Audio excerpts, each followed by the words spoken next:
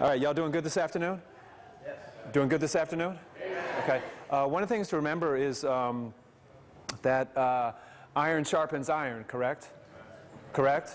Yes. And um, it's always fun for me to come out and hang out with uh, Pastor Barron and Charlie and stuff because they're just uh, bold soul. And I get around you guys, and I like I like I need to pick the pace up, you know. And so that's what's good about being brothers and sisters in the Lord that challenge us to do that, to stand strong for Jesus Christ and do that. Okay. So.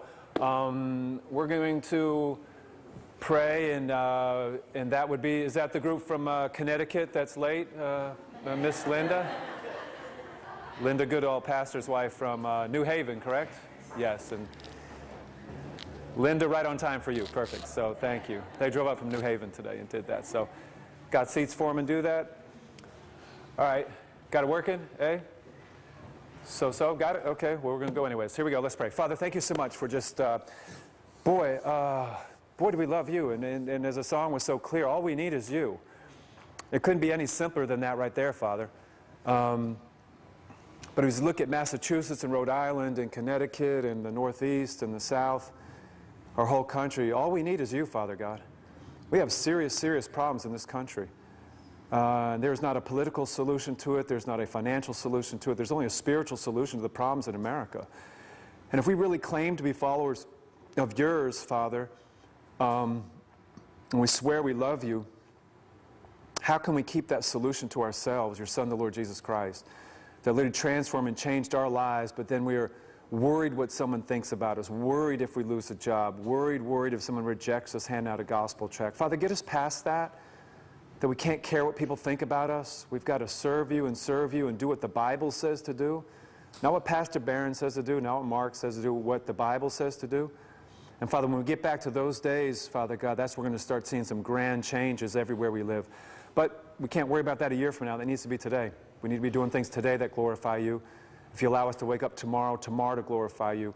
Uh, we just never know how much time we have left. But again, that lost soul that we need to chat with, we don't know how much time they have left. We may not get another opportunity to hand them that gospel tract or to have that conversation with them and do that. So, uh, fathers, give us that sense of urgency uh, as we learn more about sharing our faith in you. So we're just going to thank you for that, and we do. And we ask in the great name of your Son, Jesus Christ. Uh, amen. Amen. Okay. Uh, this talk is called uh, the Fisherman's Club, is what it's called. Okay. The Fisherman's Club. We started it this morning. Uh, they're taping it for you, so they'll have that tape, Pastor Barron will, for you and do. It's called the Fisherman's Club. So let's grab our Bibles. We're going to go to, we'll just do the scriptures again where we did this morning. So grab your Bibles, and then um, before you open your Bible, uh, what's the two words advice we said today was what? Be careful, okay? Because we're going to open up this Bible, but be very careful when you open up the Bible, all right? This book is uh, loaded with truth, and Satan doesn't want us reading this book, right? Um, he doesn't want us understanding this book. Because if I read it and understand it, it's going to change your life. But always remember, you're going to answer to the God of this book the day you die. You can argue with what we're going to teach today and say, no, that's someone else's job to go share their faith. That's pastor's job. He's a pastor. He's supposed to do that. Oh, Mark has the gift of evangelism even though there's no gift of evangelism in the Bible, okay? You can try all the excuses you want to, but you're going to answer to the author of this book one day. And he tells me, okay, what we're supposed to be doing, going into all the world and preaching the gospel to every creature. So again, be careful when you open up your Bible because there's truth in this book, right? Uh, we were in the prisons the last couple nights, and one of the problems with some of the prisoners is they can't read. And if people can't read, you're eliminated from 90% of all jobs anyways you could have on planet Earth if you can't read. But the trick of Satan was if you can't read, then you can't read what book? Yeah, you can't read the Bible and you can't get the eternal truth. Just one more lie of the great deceiver and do that, okay? All right, let's grab our Bibles. Let's go to Luke chapter 5. So Luke chapter 5. Matthew, Mark, Luke. Let's go to Luke 5.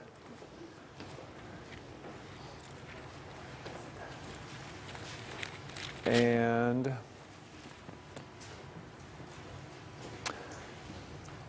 we'll start in verse 1 again, Luke 5, verse 1.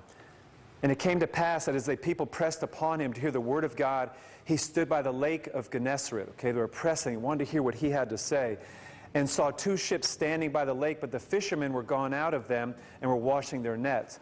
And he entered into the ships, which was Simon's, and prayed him that he would thrust out a little from the land. And he sat down and taught the people uh, out of the ship. Now, when he had left speaking, he said unto Simon, Launch out into the deep and let down your nets for a draught. And Simon answered, said unto him, Master, we have toiled all night and have taken nothing. Nevertheless, at thy word I will let down the net. He was obeying Jesus Christ, right? Isn't life pretty simple as Christians? We just obey Jesus Christ. You know, how simple would our lives be if we just obeyed him and disobeyed the enemy? Okay, just very simple. And Jesus said, Go into all the world and preach the gospel to every creature, Mark 16. I don't say that. Pastor Barron doesn't say that. Jesus says. So I might as well just what? Obey, what he says, right? Um, and I will let down the net, okay? And six, and when they had, let, uh, had done this, they enclosed a great multitude of fishes, and their net brake. And they beckoned unto their partners, which were in the other ship, that they should come and help them. And they came and filled both ships so that they began to sink. Wouldn't it be nice? Um, uh, Pastor Barron told me he used to be a correctional officer, and when they had serious uh, riots in the prisons here in Rhode Island, they called all the officers over from Massachusetts. We need help. We need a, and a bunch of the officers came over to start put the riots down here uh, in the prisons back in what was it the 90s here in Rhode Island in Rhode Island, okay? So that's what they did. Wait, wait, wait. Wouldn't it be nice to know that we have a festival coming up and we have to call our church, hey, we need some help. We have 100,000 people showing up, okay, at this festival. We need some more soul winners out there. Hey, we need some help. We have 80,000 people wasting a Sunday afternoon in Foxborough. Okay? People who claim Christianity but won't hand out one gospel track at a New England Patriots game and do that. Okay, we need some help over here. But when they needed help here, the people came and helped. Just think about that for a second, okay? Verse 8, and when Simon Peter saw it, fell down on his, uh, at Jesus' knees, saying, Depart from me. I am a sinful man, O Lord. For he was assembled, and all that were with him at the draught of the fishes which they had caught. And was also, and was also James and John, the sons of Zebedee, which were partners with Simon. And Jesus said unto Simon, Fear not, from henceforth thou shalt catch what? Men. And when they had brought their things to land, they forsook a little bit, kind of some a bit. How much? All, and followed him. That's one thing I love about Pastor Barron and, and Charles as well. Uh, Charlie, uh, they forsake all. Just going to follow Jesus. Wherever he takes me, he takes me. And I know that's going to be better than whatever Mark could craft for his life, anyways. Okay? I'm that excited about doing that. Do you have that same? Have you forsaken all yet? okay, to go catch men. And that's what the talk is called the Fisherman's Club. We did the first part of it this morning, and now we're going to pick up here. Uh, we were listing different qualities of, of being a fisherman and then showing how that angles into um, being a soul winner for Jesus Christ. Okay, so number eight on our list is fishermen do not sit around philosophizing about fishing.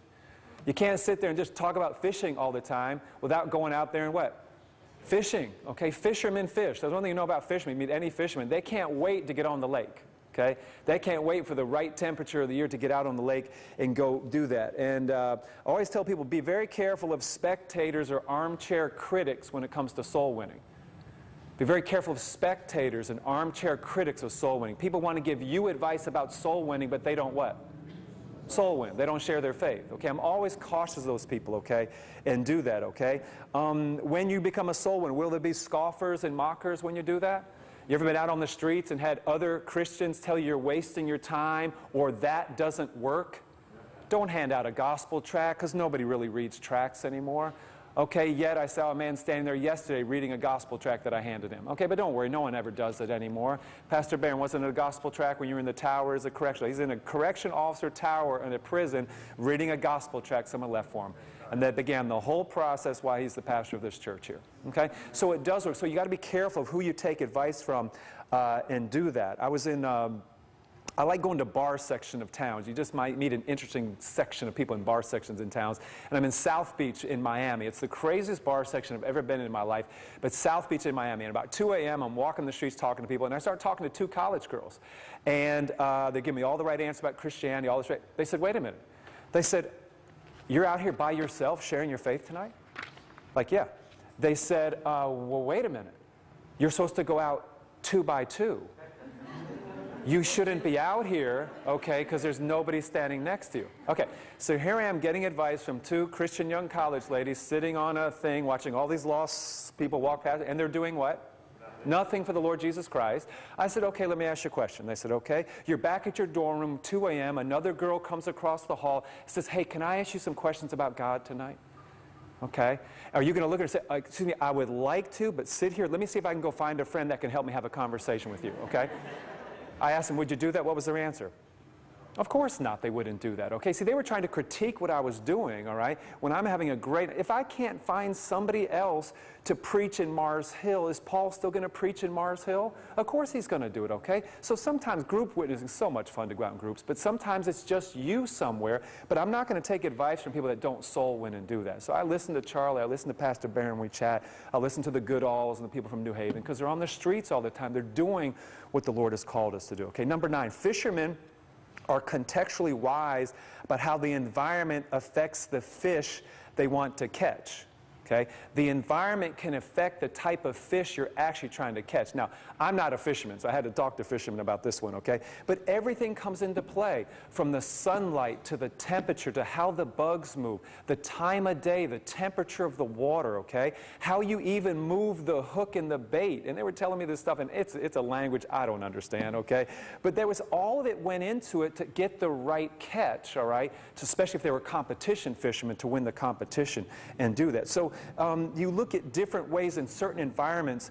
Uh, certain environments, you may not have a long time to chat with somebody. Okay, a friend of mine was just handing out gospel tracts um, at the uh, Paul McCartney concert in uh, Salt Lake City. So she's handing tracts out there and to people walking in. And one thing she told me was she said she noticed that she didn't get into too many very long conversations. Okay? Well, it's a different environment, right? People are walking in to go to the show. So you're probably not going to get the long conversations, but don't assume God's not going to use that gospel track. Okay? Then all of a sudden she reaches to hand a track out, and there walks up the pastor of her church. walking into a Paul McCartney concert in Salt Lake City. Okay? Because the problem, this man loves what? Music. Okay? His church is very musical, loves music. So he was going in to enjoy Paul McCartney for two and a half to three hours. Okay? When the Beatles have probably been the number one band, them and probably the Rolling Stones, of pulling people away from God and Jesus Christ in the history of music. Okay? Have this pastor going, wait, he's a pastor of a church. Shouldn't he have said, ah, oh, wow, I should be doing the same thing you're doing. Let me stop and help you out. Did he do that? No, just walked right on past, okay, acknowledged her, okay, and then went into the concert for two and a half hours. Think about that for just a second, okay? How far have we fallen as pastors of churches? Leaders amongst our churches and stuff like that, right? We don't even see the 15,000 lost people around us, and yet we're leading congregations and stuff like that. How far have we fallen? As a church to do that, okay? Um, if you're checking out and you're talking to a cashier of a place, but there's eight people in line behind you, you will not have a long conversation. Okay? And matter of fact, you don't want a long conversation because she has a job to do, correct? And you have no right to keep her from her job. So it's going to be a little bit shorter to do that, all right? So when I'm sitting with waiters and waitresses, I watch. If they're, all their tables are packed full, I know it's probably going to be a little bit shorter. But then I look for opportunities when two of their tables get up. That's when I kind of make a move at that point because I know I'm going to have a little section of time, okay? So we're contextually wise. We're using our smarts when they're out there chatting with people. If you see a woman in a mall with two shopping bags chopping through that mall, just get out of her way, okay? She'll hurt you, okay? She will hurt you. I just, it, it's happened before. But if you see somebody sitting on a bench in a mall, sit down and talk with them. Okay? If you ever see a man sitting by himself on a bench in a mall, he is waiting on his wife or girlfriend and he's not allowed to move. Okay? Because they have told them, this is true. I've met these men before, okay? They, they're sitting there. I had a guy one day kept looking at his watch and looking in this department store. He kept, up, oh, she's here, I gotta go. And he was gone, but he couldn't go anywhere until she, you know, she came out of the store and he was sitting there, so it worked good. So you're looking for things like that, okay? Using uh, your, your wisdom when you're out there. Number 10, fishermen realize that by following Jesus, he makes them into fishers of men through a long process. They're humble enough to know that they're always in the process of becoming more like the master. Never do real fishermen rest on their laurels and insist that they have arrived. I think that's a really important one, okay? Um, you, um, I always call it with people, and I was talking about the prisoners about this last couple of nights, that we're works in progress, but we're in progress, okay? We never arrive at being the men or women of God we're called to be, okay? We're in progress. But my sister corrected me one day. She I always call them whips, a, a WIP, a whip, a work in progress. She said, no, Mark, they're MIPS. They're masterpieces in progress. And I really like that. It was a good thing my sister said to me. We're masterpieces, but we're in what? progress. So we never arrive, okay? So I talked to Charlie and Barron about soul winning, and the Goodalls, I talk about soul winning with them, okay? I read books on soul winning, all right? Because I'm trying to get better at this, but I just know how much longer I have to get better at this. I may be out of here this afternoon, this evening, tomorrow. I don't know, okay? So I'm always trying to pick up things, things that work that are biblically sound and that work as well, all right? Um, good fishermen possess qualities that make him a good soul. Consider some of these other ones they had. A fisherman go where the fish are. That was just a simple one I was reading about fishing. Fishermen go where the fish are, right? Um, if you want to go fishing, you don't go to the swimming pool, correct? right? There's no fish there. Okay, you have to go where the fish are, and then we go to their territory, right? And we bring light to their to their darkness that's there. Okay, so pop some hands up. Where are places we can go and find souls that are congregating? We can go and hand tracks and talk. But pop some hands. Give us some ideas we can share with other people, sir. What's that? a monument, okay? I was just, where was I just at? Indianapolis, and there was some Civil War memorial right in the middle of Indianapolis, and everybody was walking around this thing taking pictures. Like, what is this? I didn't know what this was, but I looked and I saw all these groups of people. So look where, yeah, Boston, you know, people walking the streets at all the history there and stuff, opportunities to do that. Good point. Providence yesterday was similar to that, okay? Hands up. Where are places we can go where people congregate and chat with them and do that? Sir? A bus station. You know, bus stations are 100% legal to hand out gospel tracts and talk to people at bus stations. Charlie just went to one the other day he was telling me about, okay? Bus and train stations, okay? Because your tax dollars are part of that, so they're a great place. And at bus stations, you get all walks of life at a bus station, okay? All walks. So it's actually a fun place to witness, okay? Where are a couple other places we can go? Sir? Fair. Uh, any types of state fairs, county fairs, okay? Either get a booth in there, okay, just hire and be one of the booths, or just walk around and talk with me with your gospel tracts and stuff and get into conversation. Because county fairs are the same way in state fairs. Uh, they're typically down south, they're in September, so this is the month we have these. Um, all walks of life go there to the, to the fairs and stuff. Where else can we go? Of course you can go to public university campus because the key word was public, okay? Now, I went to Providence College on Friday, and that's a private college, so it's a little bit different there. But even in private colleges, um, there's public streets that go through there, most private colleges, okay, um, that go through, and sidewalks are public as well. The other, the real difference, though, is if they get any tax dollars. When somebody gets tax dollars, okay, anything from the state, your taxes went to it, and your free speech rights have to go with you. Okay, so for instance, uh, Jerry Jones uh, in Dallas built uh, a $1 billion football stadium. But they, they took state money and built roads into it so people could get in there. And so some friends of mine were just at Jerry Jones, Jerry World, whatever they call it, and uh, at a Jehovah's Witness convention handing out tracts and talking to people. Because it's, an it's not an open public forum. They can put you in certain spots, okay? So I went to uh, Johnson and Wales, walking around chatting with people yesterday. It's a private campus. So use different strategies on a private campus. But no, public campus, University of Georgia, University of Rhode Island, wherever. Just walk around chat with people, okay? Sit down, get in conversation with people. And that's what we were doing yesterday uh, last couple days at colleges and stuff and do that, okay? But college campuses are great now that you said that because do you know the Southern Baptist Convention says that 88% of Southern Baptist youth will ditch their faith in Jesus Christ by their senior year in college. 88% will ditch it. Okay, well that tells me that's probably a good place to go chit chat with some people and ask them some questions. What, uh, so especially ask a Christian, we teach this to parents a lot, ask your kids the question, I don't care if they're in middle school, high school or college, ask them the question, did you hear anything in school today or in class today that was anti-God or anti the Bible? Okay? You're just planting a seed ahead to start thinking with a biblical world, to filter everything they hear back through this book. Okay, because they hear it all the time, and if they don't know how to defend this book, all right, then that's when we get in trouble and do this. So college campuses, whoa, uh, matter of fact, um, a lot of college campuses now, that's where you're going to meet a ton of Muslims if you want to witness to Muslims or college campuses.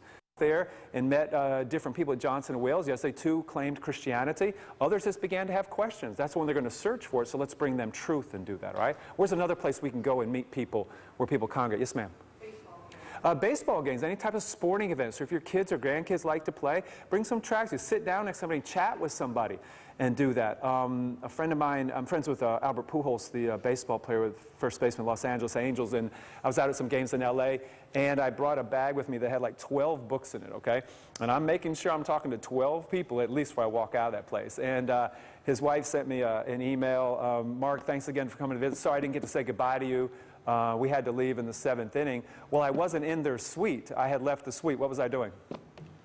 Yeah, I was walking around the stadium trying to find someone to talk to, okay, because baseball's a little boring to me. And uh, even though I, I, love my friend, I love to watch him play, it's just boring for me. So I walk around chat with people. And sure enough, I'm standing there chatting with some dude with a Pujols jersey. He was my side, big, huge guy. I'm chatting. All of a sudden, I step away, and a guy taps me on the shoulder. He says, Excuse me, aren't you Mark Cahill? I said, Yeah, and this is Los Angeles. He said, you, you preached at my church in Scottsbluff, Nebraska. And so I ran into the pastor, Pastor Tyson, in the middle of that baseball game. I'm going back to my church on Sunday. We'll tell them I ran back into you again, but I saw you doing exactly what you taught us to do two years ago at the church, okay? Because that's what we do as believers. We're trying to find those opportunities to, to go where the fish are. I was just in a, a mall. Malls are great places to witness. Um, I mean, there's no need to shop there. Nothing fits. So I don't know why people go to malls. And so I go to witness in malls. So when I go to the malls, um, I was just in Birmingham, Alabama speaking. So I went in a, a, day early just to walk around a mall. I go to this mall. I start chit-chatting with the uh, manager of the Journey shoe store. You see the Journey shoe store. So I'm chit-chatting with him. We're talking about uh, life and death, what happens to die. He said, wait a minute. He said, did you speak at a student leadership conference about seven or eight years ago in Orlando? And I said, yes, I did. He said, you're Mark Cahill, aren't you? I said, yes, I am. He said, I heard you speak seven or eight years ago, okay, at a student leadership conference. And I said, Really? I said, How's your faith doing since then? Because seven or eight years can be a lot, right? Well, guess what? Now he's into many paths get to heaven. Asked me the question, can't two religions be true at the same time? What's the answer? Of course not. It doesn't even pass the logic test, let alone, you know, just, there's no logic to that statement. But again, remember how people think. We don't want somebody to be wrong. We really don't think God would send anybody to hell, so why can't all the paths lead to the exact same place? Okay, that was the, the argument I'm getting from this 22 year old guy. Looks at me and says, By the way, I read your book, One Heartbeat Away. I still use one of the examples out of your book with people. Like what example? And I told in the book, I said, if you took a watch, you took all the pieces from a watch, put it into a shoebox, and you shook up that watch for one week, would it shake up into a functioning watch? No, okay, one year, shake it up. Would it shake up into a functioning watch? A million years into a functioning watch? No, if it couldn't happen to a simple, tiny little watch, how did the universe, the sun, the moon, the stars, the Big Dipper, everything come in perfect precision? We can tell the exact day of a full moon, okay? The exact day of the blood red moons that everyone's being concerned about and all this stuff, okay? We can tell you all about how this happened. How did it happen? If it couldn't happen, how did it happen to this universe? So here's a young man still wrestling with what he believes in, but remembers an example from a book that he read six or seven years ago, right? See, that's why you plant seeds, but that's why we have the most amazing talk okay, in that mall because I'm going where the fish are at. Uh, and his name was Jacob. So he has a nice Christian background. His family wants him to serve the Lord, but that'll be his choice now, right? You can lay the right foundation. And parents, the number one thing you'll be judged on, my opinion, biblically, is Deuteronomy 6, okay? Talking about the things of God with your kids as they lie down, as they rise up, as they sit, as they walk by the way. Your job as parents is to teach your kids the things about God. You're supposed to be talking about the things of God how much of the time? All your time is what is basically saying in Deuteronomy 6. Okay, I think it's the number one thing you'll be judged on as a parent. Now, remember though, you're not responsible how they turn out. How they turn out is their choice, right?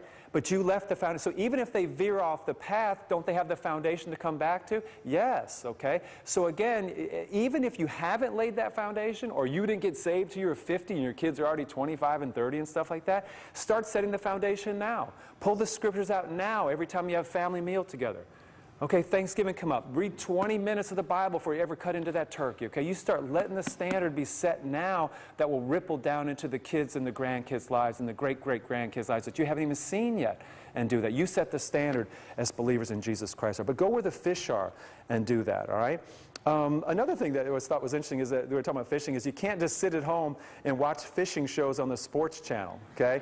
Um, you can't spend time at Walmart looking at all the new fishing tackle, okay? You gotta go. You have to go out where the people are at and do that. Um, Jesus said, Go into all the world and preach the gospel to every creature. And go means do not wait. It means go, get out there, see these people, and then talk with them and do that, all right?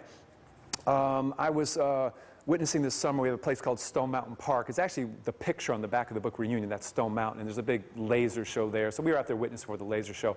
And I got to talk with these two 19 year olds, and um, one of these uh, young men uh, told me that he was very depressed, extremely depressed. I said, okay. I said, he's 19. I said, how long have you been depressed for? He said, since I was 13. I said, six years? He said, yes, sir. I'm going to be honest with you. I said, okay. He said, I'm suicidal. I'm suicidal. I said, okay. I said, uh, you ever tried it? He said, yes, sir, I did. I hung myself once.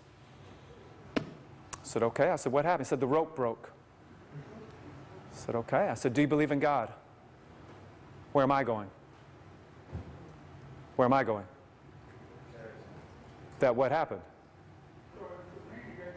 Yeah, God dropped, you know, let him live through that, broke the rope, and gave him another chance. I said, Do you believe in God? He said, No, sir, I'm an atheist. Okay, so I had to take a different angle. I said, Okay. I said, What's the best piece of evidence you have that there is no what? God. If you choose a position, defend it. If you choose atheism, defend it. If you choose Islam, defend it. If you choose uh, Buddhism, defend it. But that also implies if you choose what? Christianity, what? Defend it. the most defensible faith out there. Every, every big question's answerable uh, with the biblical worldview. It's the only one that answers every big question out there. Okay, so that's why we want to engage people and do that. Okay, um, atheists, we're talking back and forth and stuff, and I finally said, I said, uh, do you like to read? And 99.8% of all atheists say what? Yes, because many of them get into atheism from reading. That's how they get into it, reading the wrong stuff, okay, and do that. And I said to him, I said, uh, can you handle a book with a suicide in it? Because I didn't want to put a book in his hand that would encourage him in any way, shape, or form down that road, because we know, especially after Robin Williams, how wrong this suicide is, correct?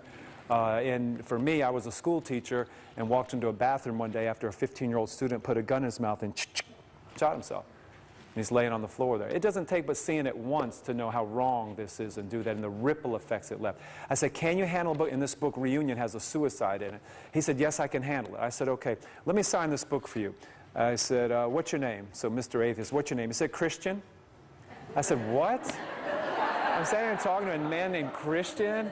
Gotta be kidding me. And so uh, we talked he smiled and stuff. So then I reached in my pocket and I pulled a $40 out of my pocket. And was not working right now. And that's the way some people get depressed, right? When they're not working, men are supposed to be working. It's biblical. We're supposed to be working, earning livings and stuff, and taking that income and blessing people, tithes and offerings. So I took the book. I said, Christian, if you could have this book and tell you exactly what happens the moment you die, or $40 in cash, okay, which one would you take? He didn't even hesitate. What did he take? No, he said, I want that book. He said, I want that book. Okay? I said, Christian, I said, it's, it's a blessed day for you because Jesus Christ said it's more blessed to give than what? Receive, and I put the 40 in there, and I said, that's for you. And he was actually visiting, uh, they're from Illinois, and they were down in Atlanta at this laser visiting uh, the other boy's grandfather. So he was on a trip with his buddies, but I knew that was a divine appointment God put right in front of us, that I just need to take advantage of that uh, opportunity and do that, all right? Um, so you have to go where the fish are. He wasn't going to show up, okay, at this conference this afternoon. I had to reach him that night when I ran into him and did that. Okay, so remember, always looking for that and do that. Another big one that kept coming out from all the things I was studying on fishing is the big word patience, okay? Because we need patience, right? You have patience when you're a soul winner, all right? Sometimes it's easy to get frustrated uh, out there, and um, uh, you have to be patient. You may not see somebody come to Christ right before your eyes today. Okay, would you still be patient anyways and just plant the seed? Or the Watchman book we told you last year, what, blow the trumpet and warn people trouble's coming? Would you still be patient and do that?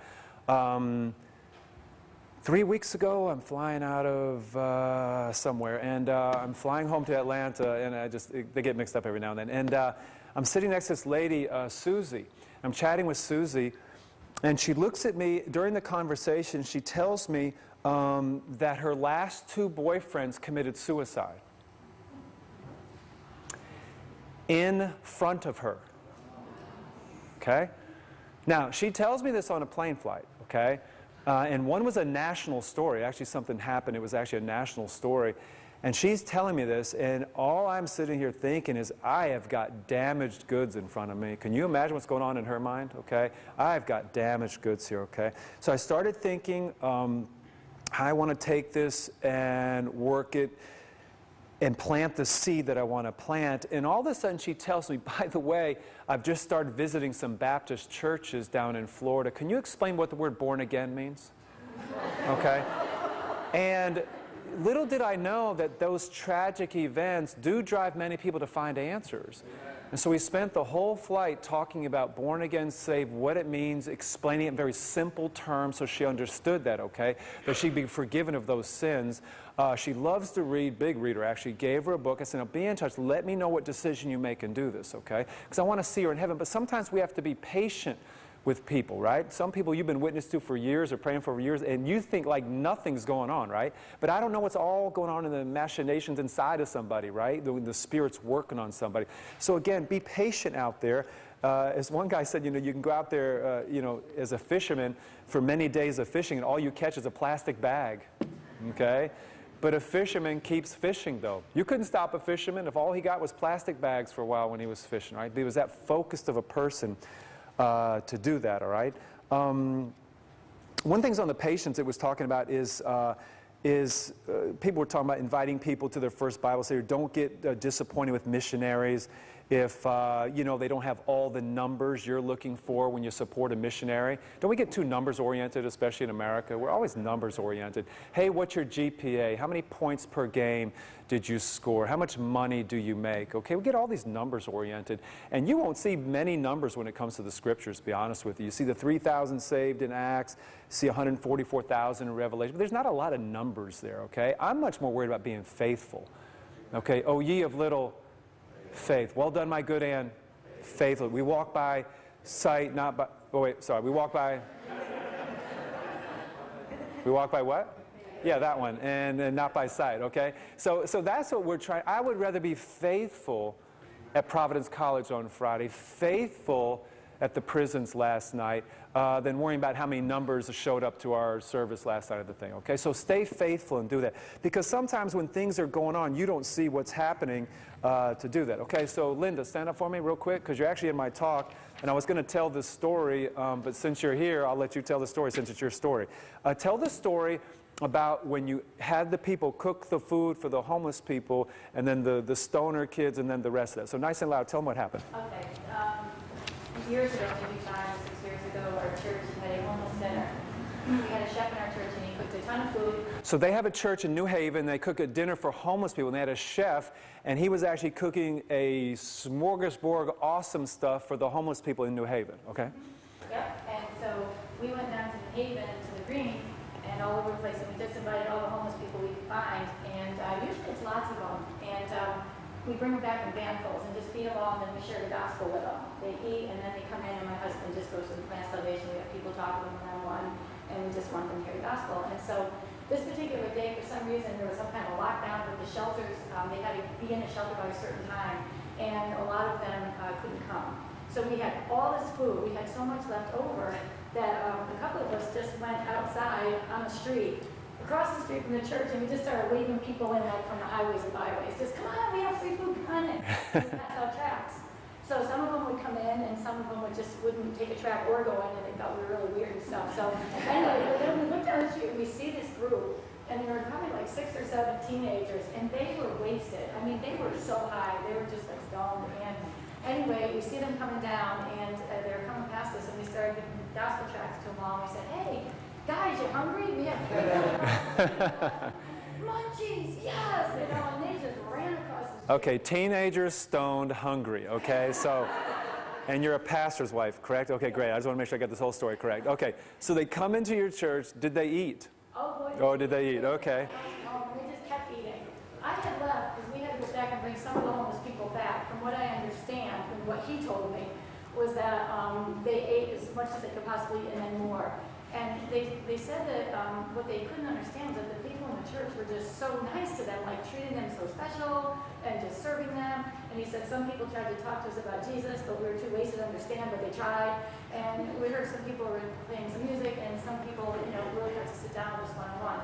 But all we knew was that um, that they seemed to care about us. And so he said, and by the time we left that church, he goes, well, by the way, we were on our way down to the West Haven Beach, down the street from our church, to beat somebody up and like do more drugs. And he said, by the time we got out of your church, he said, we were just so overwhelmed, we all just went home, like we couldn't beat anybody up. Like, So they were going out to beat someone up that night, but they were treated so well by the Christians and fed so well by the Christians that they decided not to beat up a human being, and they went home that night and didn't get bad stuff that night. Now, was that the end of the story? oh no. No, what happened? So, all right, so anyway, so I remember my friend and I were, and I, and I told him, by the way, that, that was me and my friend Janice. He was like, I thought you might look familiar. But anyway, um, so, oh no, I didn't get. You didn't tell the part, right? I'm like, sorry. That's okay. Tell the part where you, yeah, okay. So all that happened. So my friend and I just kind of laughed and said, well, we know that they just, you know, fulfilled their munchies, but, you know, we, we looked at each other and said, you know what, we don't know what God's going to do in one of the hearts. And so. Our job is to be faithful, right? Faithful, okay? So now Grant Park, right? Okay, Grant Street. So, um, so that was that. So that was like five or six years ago. So um, a few weeks ago. Um, A our- few weeks ago. Yeah, okay. a few weeks ago. Our church um, goes to downtown New Haven, and we just like go around and just witness to people. And um, and I usually drive around on Sunday mornings with our church van and just kind of either yell at the window or meet people there that we talk to that we witness to on Thursday, and just kind of invite everybody that we can find um, from the church. So anyway, from all of this, we ended up getting this whole group that comes, a whole handful or two, from a rehab um, in New Haven. That's, you know, people out of prison, you know, getting off drugs, alcohol, whatever. And so we've now got this faithful bunch that's been coming for months. And they're, you know, getting saved and, you know, getting discipled, whatever. Some of them just use us because they want to charge their cell phone and, you know, get free food. But it doesn't matter because it's kind of see. So anyway, um, I was bringing a bunch of them back um, to the rehab. And so um, some of them were walking near me, and I noticed new faces. And I said to one of them, "Oh, you're new. Um, what's your name?" He said, "Well, I said I'm Linda. I'm glad you came, and I hope you come back next week." And he said, um, and he goes, "Well, this isn't my first time here." And I said, "Oh, um, were you here last week? I'm sorry I missed you because I'm an airhead." And he goes, "No, it wasn't last week." And I said, "When were you here?" He goes, "Well," he goes, "about." Um, six, five or six years ago, when I was a teenager, my friends and I were wasted and walking down, you know, the street and found these two ladies, and yeah, it was me. And I said, yeah, um, anyway. And he goes, and they invited us into the church, and um, he told the whole story about what happened. And he said, um, you know, and, and of course we couldn't go beat anybody up, and something was just different. And he said, well, since then, a bunch of my friends got in a lot of trouble, including myself. One is dead, several were in prison, I was in prison. I'm now out of prison. I may go back to prison. He says, but right now I'm, I'm out. And he was when my friends invited me um, to come to church this morning, and I got in the van. and I found out it was that church where those ladies, you know, invited me to eat. And he said I was just blown away. And when I um, I went in, and he said, um, you know, people started to talk to me about Jesus again. You know, and this time I listened. I didn't get saved yet, but I listened. Well, uh, he came back the next week, came to our house for a picnic. A lot of times we just bring him all over for a barbecue. And um, then we get to talk to him one-on-one. And so he sat down and with my husband or somebody, I don't know, so I'm a witness. And uh, he trusted Christ as a Savior. And anyway, he said it all just started way back when they were wasted and teenagers. You know, it's interesting because the last time I chatted with Linda, I didn't know he had gotten saved. Yeah, yeah, yeah, it's okay. But she said to me when they took him back uh, after that time, he said, after hearing this, I'm beginning to understand it. That's something she put in an email to me. So that's where you got to get people, right? We're faithful six or seven years ago, don't see any fruit, but we're faithful people. We persevere. Now you pick up the people, they run their van all the time to get people to come to their church in New Haven. They pick them up in the green down there. Um, I'm beginning to understand it, and then he did understand it on the, the moment of salvation there and do that, okay? So that's what we're looking for to do those stories with patience and do that, okay? Grab your Bibles, go to Matthew chapter 8, okay? Go to Matthew 8.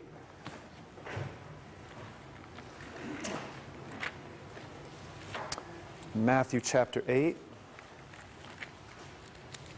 And let's go to verses um, 24, 25, and 26. So three volunteers for that. So get uh, three hands pop up, and let's go uh, Chip 24, 25 right here, one more, and then 26 right back there. Okay, so let's go to 24. Matthew chapter 8, Let's go to 24.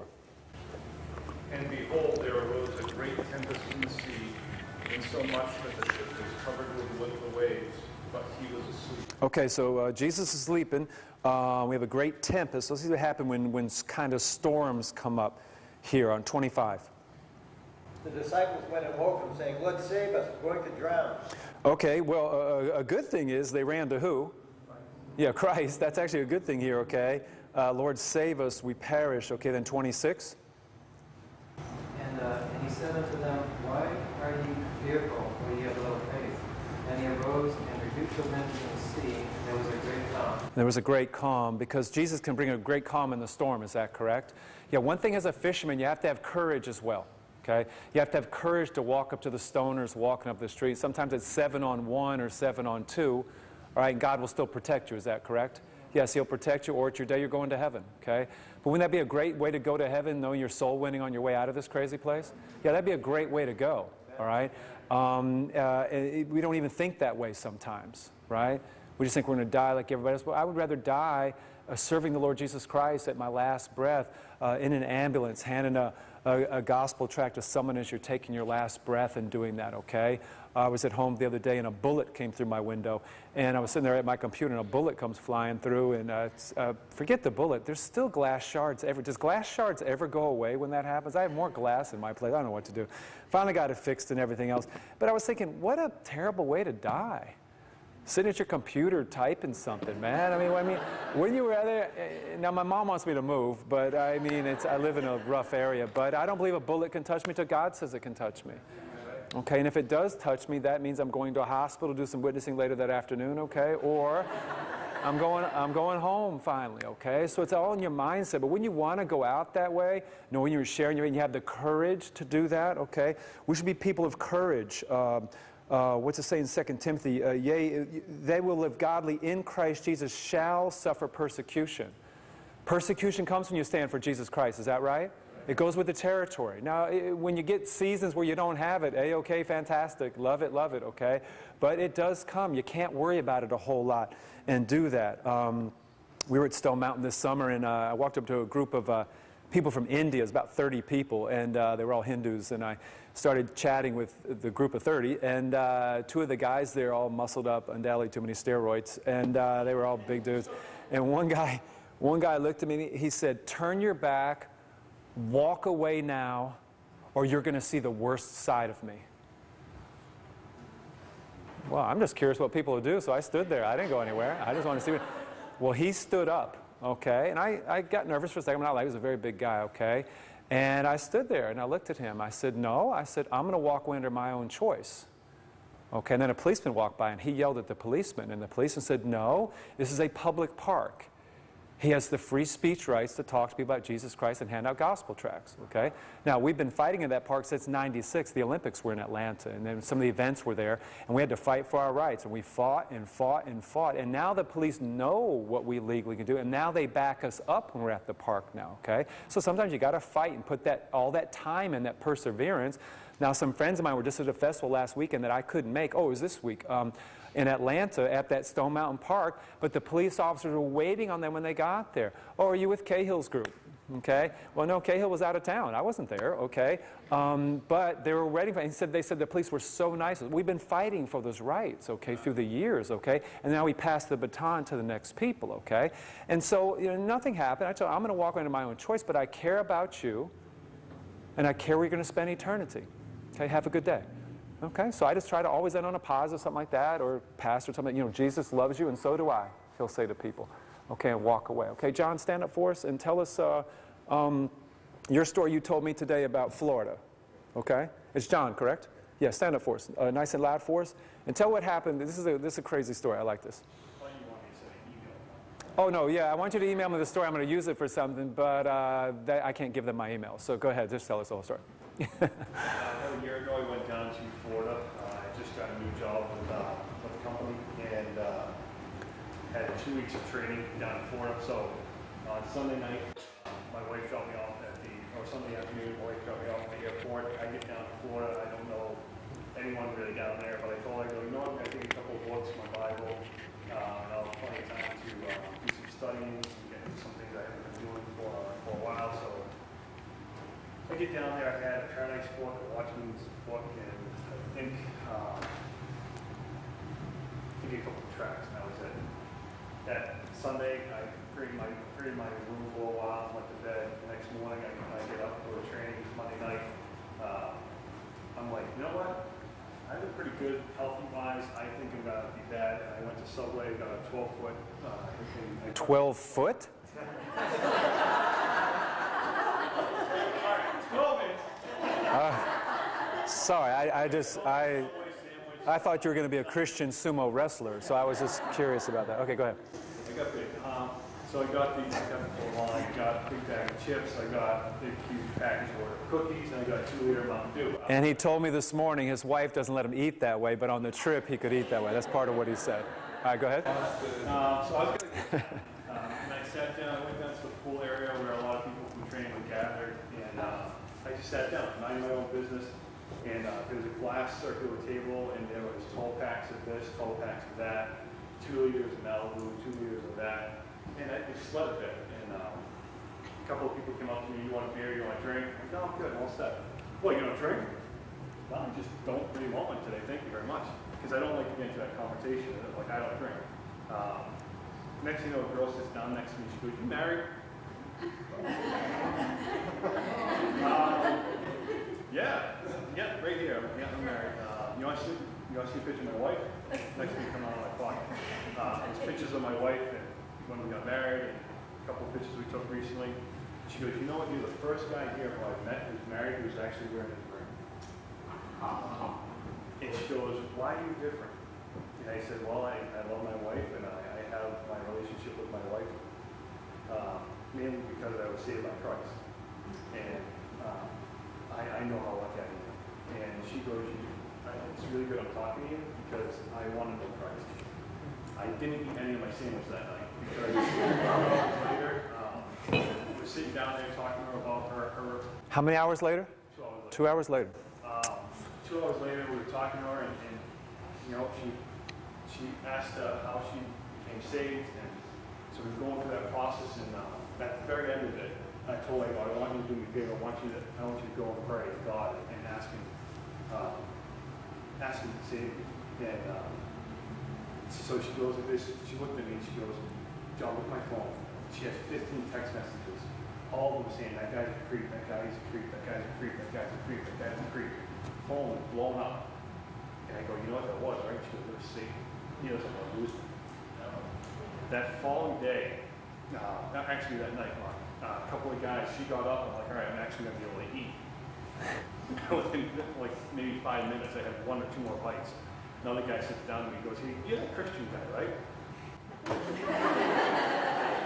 I called up uh, that night. I finally went to bed about one in the morning. I wake up the next day. I start going into training. As I'm walking into training, a couple of guys come up to me and they go, "Hey, you get one of those books?" Because I had given that girl a book that night. Another book. Before lunchtime, I had about ten books I had to actually find for these people. I only had two. I sent the email over to Mark and I said, Mark, uh, I'm in training in Florida. I don't know how you could possibly make this happen, but I need a, uh, I need as many books as you possibly can send. I think it was two days later, uh, I'm walking into the hotel and there's a, there's a crate. and, uh, God be good, I was down there for two weeks and I gave out every single one of those books. Uh, It's a powerful story because part of that story is um, one, you have to have courage, right? You might be getting someone you're talking to getting 15 text messages saying, get away from that guy because Satan's trying to destroy what's about to happen, okay? Uh, two, um, does it matter how we act when we're out there on the streets with people? Oh, you better believe it. It is, I can't even tell you. That's one reason I loved it when uh, John told me the story this morning.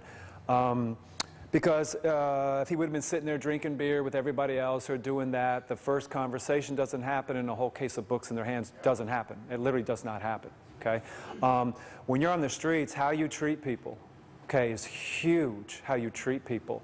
Um, we had a guy on the streets the other day um, at this wrestling event, and he was referring, he was a street preacher, and he was referring, referring to ladies as B-I-T-C-H's and whores. And he was saying it at the ladies walking into the wrestling event, okay? Well, of course, they were responding back to him. And uh, he thought he was getting uh, 2 Timothy 3 those who live godly in Christ Jesus will suffer persecution. Uh, no, no, no, no, no. You were getting persecution because you're a jerk. Okay? And you weren't representing Christ as a proper ambassador. Okay? And I was about 10 feet in front of him handing gospel tracts out. I grabbed my backpack, put it on my shoulder. I walked up to Alex. I got nose to nose with Alex. I said, Stop it now. I don't want to hear another word, those words come out of your mouth again. I said, Do you understand me? And he's bigger than I am. He's a big, strong guy. Um, but I don't play games like that, okay? Not on the streets, because I know there's hungry souls out on the streets where we're out there, and we can't play, do that. And, uh, and I said, I don't want to hear these words again. He said, I didn't say that word. He stood right in front of me and what? Lied. I said, Alex, I'm right down there. I heard you say it. I don't want to hear it one more time out of your mouth. Do you understand me? Okay? And I just got real intense with him for a second, okay? Took my bet, went back down and started handing. I didn't hear it one more time that night. Not one more time that night did he say it, okay? But someone needed to challenge the bully, okay? And the bully happened to be quote unquote on our side, all right? But it was pushing people. How we act, that was another thing out there uh, with fishing. How you act around people matters, yes or no? Yes, okay. We represent Christ in the workplace, in our schools, okay, at different places, everywhere we walk, all right? They're looking for that. Because the other thing you have to remember is you're setting up the person coming behind you. That's what you have to remember, because you're planting seeds and watering. If I'm a jerk to this person on a plane flight, the next person that sits next to him is like, oh, goodness, the last guy was a jerk. I'm not talking to this Christian guy. Okay? Um, two weeks ago, I'm coming out of San Antonio. I'm sitting next to a Delta pilot, hopping a plane to Atlanta. Um, we start talking. I start witnessing. Bingo, we start going at it. Back and forth talking. He's a Roman Catholic gentleman. Back and forth. What's truth? What's it take to be saved? Back and forth. Then he looks at me and says, By the way, uh, my daughter is an evangelical Christian missionary. I said, Really? He said, Yeah. And uh, she's in the, I, th- I think it was the Honduras, one of, one of the Central American countries, as a full time missionary. And he looked at me and said, And she's not one of those girls, okay, that doesn't walk it. She walks, she talks the talk, and she what? Walks the walk. Okay, and just to listen to this dad bragging about his evangelical daughter that he loves to death, okay, and talking about, talking about, then he looks at me at the end of the flight. He said, Mark, I have been flying out of San Antonio for 27 years with Delta. His name was Jim. I'll never forget this guy. He said, This was the most interesting conversation on a flight I have ever had in my entire life. He said, Thank you very much. Okay? But if I would have been a jerk or rude or represented Christ wrong, we were going nowhere with that. So thanks for representing Christ well in what you do, okay? And do that. And that's so important as we live this life and do that, okay? Um, next one is uh, the wise fisherman uh, must keep himself out of sight. I thought this was very interesting. I didn't know this from fishing. A wise fisherman keeps himself out of sight. I didn't know this, but the shadow of the fisherman can actually affect the fish. You ladies know this? You, you fish? I don't know this, man. I'm learning all this cool stuff. I got nodders back here. Yeah. But if you get the sun wrong and your shadow hits the fish, then I guess it's not going to nibble on your bait or whatever. I don't know, whatever you call it, okay? But, but it's very interesting because that can affect what's all going to play out in front of you. And isn't that part of the problem sometimes is that there's too much of us getting in the way of our conversations, all right? And not enough of who? Jesus Christ shining through us in those conversations. So, one of the things I do when I walk into a restaurant, when I walk into um, a hotel or anything, an airport, my whole mindset is say, okay, Mark, I want to bless this place for the Lord, okay, and then walk out. And I don't know what that means. I don't know if that means picking up someone's meal. I don't know if it's a gospel tract to the first person I see. I don't know what that means, but that's my whole goal is to bless it for the Lord and walk out, okay? Because you represent the next person that's going to come up. And if I do it wrong, okay, then it's going to hurt the person coming behind. Is that correct? And they got a soul in front of me. I told the story this morning at the hotel I'm staying at in Providence. Uh, yesterday or day before, uh, the manager of the hotel comes walk around the corner and she points, she said, the book guy. And she remembered me from two years ago and she pulls up her phone and shows her Instagram account. She said, let me show you what I did after you were here. She read the book One Heartbeat Away and she sent out a thing on her Instagram, a picture of the book to everyone on her account. And, it's, and she said, Sir, I sent this out 103 weeks ago. She had on her account. She remembered when I was at her hotel, we continued the conversation. Then we had a 45 minute conversation yesterday um, in her office yesterday, talking about the things of the Lord and stuff like that, okay? But if I would have been a jerk two years ago walking in there, why isn't my room clean? Why isn't this? Why is the ceiling fan so low it keeps hitting me in the head? Okay, why? Okay, why?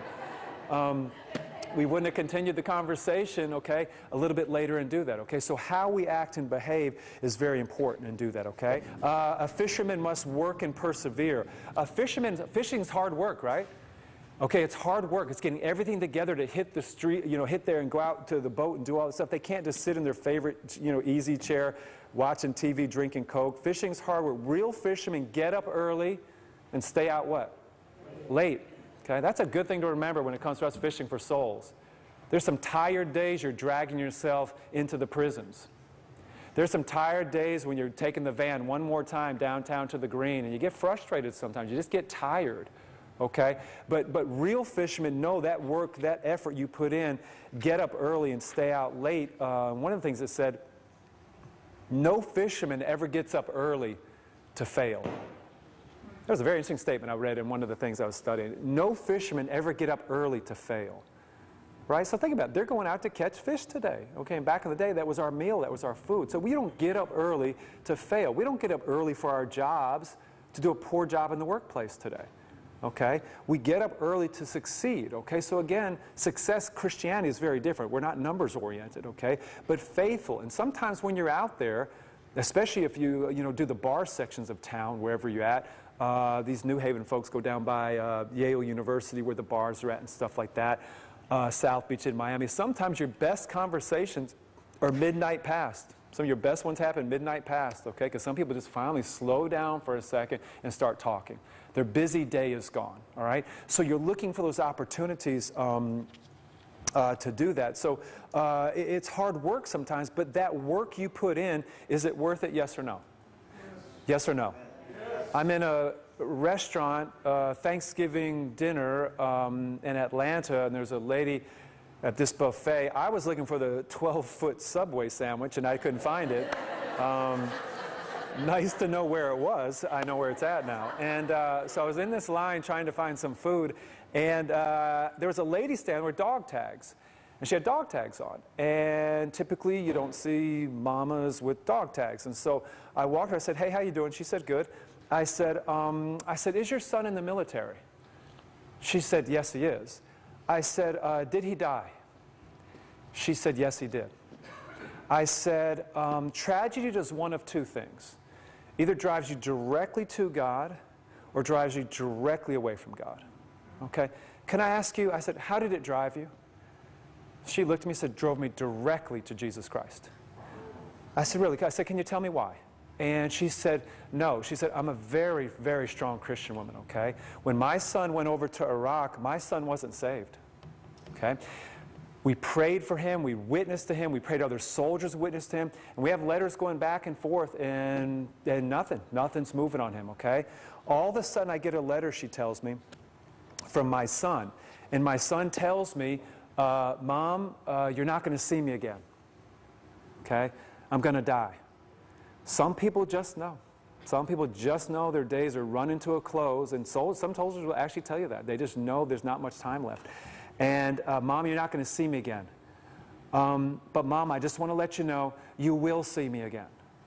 Okay? I've committed my life to Jesus Christ. Okay? I'm born again and saved. Mom, thanks for all you shared with me. Mom, thanks for all the prayers you said for me, Mom. Okay? Uh, I now understand it. I've made that commitment. Okay? And I'll see you again on the other side. Okay?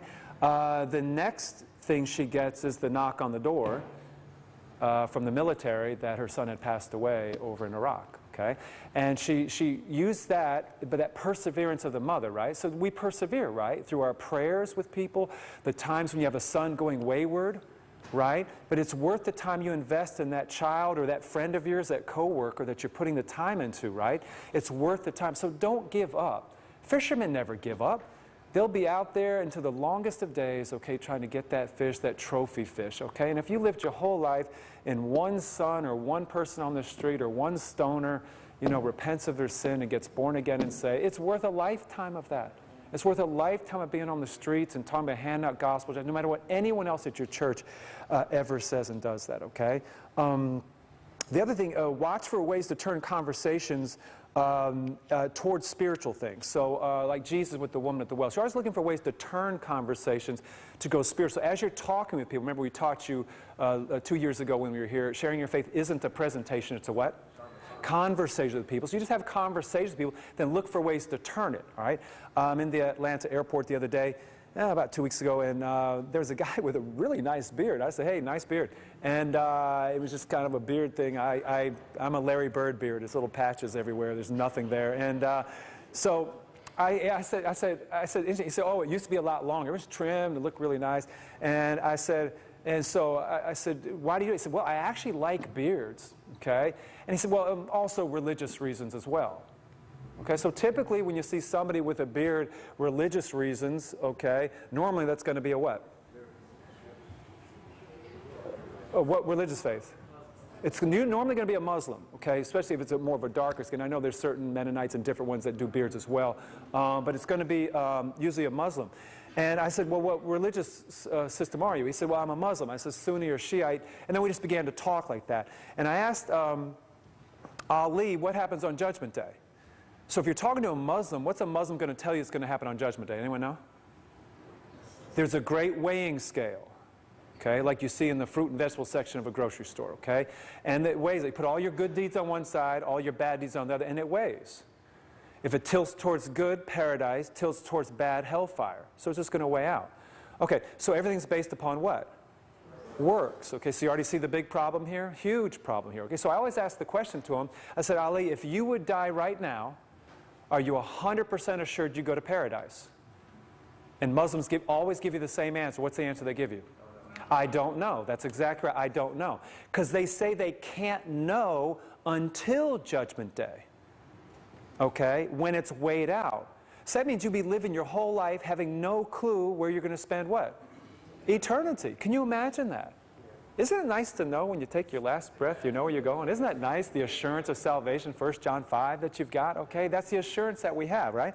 So it, um, he doesn't know until that. I said, okay. You ever told a lie before? He said, yeah. I said, okay. Uh, Ali, how many good works in the Quran does it say it takes to get rid of one lie? And of course, what's the answer? It never says because there is no way to get rid of it. Your good works would only cover your bad deeds. It would never get rid of your bad deeds. And so we were talking back and forth, and uh, he looked at me and said, well, you know, there's actually forgiveness in Islam. I said, okay, really? He said, yeah, everything with Allah's intent. All right? If, if your intent is good. So if I pick up some dirt off the ground, and he says this to me if I pick up a thorn off the ground so someone doesn't step on the thorn and get it into their foot, if I do that with the right intent, it can wash away all the sins I've ever committed. Think about that for a second. What mockery of the cross of Jesus Christ to think you could pick a thorn off the ground and think that's going to wash you clean of your sins when he shed his blood. We were just singing about that, his blood on the cross, right? For your and my sins and Ali's sins, right? Think about that for a second. Just mocking the cross of Jesus Christ. D does your heart hurt for the Ali's of the world that have been so deceived by truth? Um, by the way, Ali has memorized the Quran in Arabic. He memorized the entire Quran in Arabic, 29 years old. Uh, I asked a couple students at Johnson & Wales yesterday, they told me they were Christians. I asked the question, when's the last time you read your Bible? Okay, well, let's just say they're not on pace to memorize in the New Testament uh, where they're at this. Uh, how sad it is. We have truth in our hands. And yet we have someone believing the lie like that, Ali, loves to read medical students. So we, we talked, gave him one of the books and stuff. He said he'd be in touch. And so you just plant that seed and warn them. But do you have the heart for the Ali's of the world and do that? I was just on a plane flight three weeks ago going somewhere. And I'm sitting next to Bernard. And Bernard was a Rosicrucianism, okay? And that's just basically kind of the Freemasonry and all the knowledge is everything type stuff, okay? And... Um, but he told me truth was relative. All truth is relative. Okay? Well, we believe truth is absolute, correct? There's absolute truth. right? There is a God, absolute. Jesus said, I'm the way, the truth, life. No one comes to the Father but by me. If that's absolute truth, then there's not two ways, three ways, four ways to get to heaven, right? One way to get there, right? So I have to know what the truth is. But that's what they're getting hammered with called moral relativism on the college and high school campuses. And you got to be ready for this. This is how your kids will walk away. They're deconstructing truth, all right? And truth is as solid as a rock. Uh, and do that, okay? So um, we were talking, but he said everything um, is basically goes by the laws of the universe. All right, so whatever the universe decides is what's going to happen. I said, okay. I said, so uh, you're on a trip. I said, your wife at home? He said, yeah. So if somebody walked into the house and shot and killed your wife, you're okay with it? It's just the laws of the universe. He said, yes, that would be the laws of the universe. I said, okay. I said, you happen to be home tonight. And a gunman walks in. I said, do you own a weapon? He said, yes. I said, the gunman walks in to shoot and kill your wife, okay? But you decide to shoot and kill him, okay? Now you just destroyed the laws of the, I said, would you do that? He said, yes, I would. I'd protect my wife. I said, you just ruined the laws of the universe because the laws of the universe was trying to kill your wife, okay? Then he said, no, no, the laws of the universe changed when I was, did you see the gobbledygook that we were getting into? I was just trying to show him how absolutely foolish what he was thinking was. Oh, he grew up Baptist. Grew up Baptist. And he said the Christian religion could not answer the questions that he had. Okay, I said, what questions do you have, Bernard? Okay? He wanted to go back to all these books, The Eye of Horus, and all this crazy stuff here in the end of days and stuff. I said, why are you dressed so nice? He said, I just came from a funeral. He said, I was the speaker at the funeral. I said, what'd you tell the people? He said, well, it was one of our Rosicrucianism 16-year-old girls that died. And I said, what'd you tell him, Bernard? He said, well, I told, I started the first 10 or 15 minutes with meditation. Okay? So what'd you tell him? He said that her soul just ascended back up into the God force that's out there okay, and that it all just blends back into the ocean of God, so to speak. Okay, so what hope did he give to anybody sitting out there? Absolutely nothing. Zero hope he gave them. Misled all those people right at the funeral. Let me tell you something. If you ever get to speak at a funeral, you better take it serious. Better take it very serious because you'll have people sitting out there uh, that have, haven't darkened the door of a church in years and years and years. You better preach the gospel at every wedding and every funeral that ever happens in your church or one you ever do or a service at or your husband does as well. Okay, some people will never walk in a church except for those days and do that. Use that for the glory.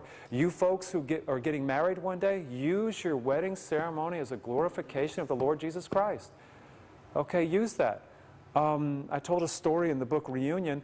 Uh, I had a girl next to me on a plane flight, and um, she had just gotten married, and that her and her husband did a salt covenant when they got married. And I never heard this. I said, What do you mean? They said, Well, what we did was, because marriage is truly man, woman, and God, it's actually a covenant between all three, is what it is. That's why it's supposed to be an unbreakable covenant and do that, okay? They said, What we did was, we each took a, a thing of salt. We went up before the pastor, and he had a big vase. And uh, when we got married, we poured the salt into the, the big jar with the top on it, and it sits upon our mantle on our fireplace. And we made a commitment for the entire crowd, everybody there, that any one of us, either one of us, can walk out of the marriage at any point, but we must take our, what? Salt with us. Okay? What's the problem? You could never separate the two. You couldn't separate them, okay? And I like the logic. I, I think this. I was thinking this through. Wait, even if his salt was blue and hers was pink, and it was mixed up, you still couldn't separate it all with you know a little credit card trying to live the little piece from each other. you couldn't have done it. You could not have done it, okay? And whatever you were mad about, okay, by the time you were separating, you would have just, just let it go. But what they were doing was setting a standard to everybody there that no, man and woman's in marriage forever and ever and ever. That's what we noticed at the prisons last night. How many guys came from broken homes in the prisons last night, okay? I met a couple the other day. I said, what do you celebrate? And they said, our, our anniversary. I said, what number? They said, 72. 72nd wedding anniversary both in their early 90s, cutest couple, man, just loved each other and stuff. It's just so fascinating to meet them at this restaurant, okay? But see, that's a standard that you get to pass the baton to the next group of people and pass it to the next group of people, right? That we're all going to finish this race well as married folk and single folk and do that. But we have to set the standard and do that, all right?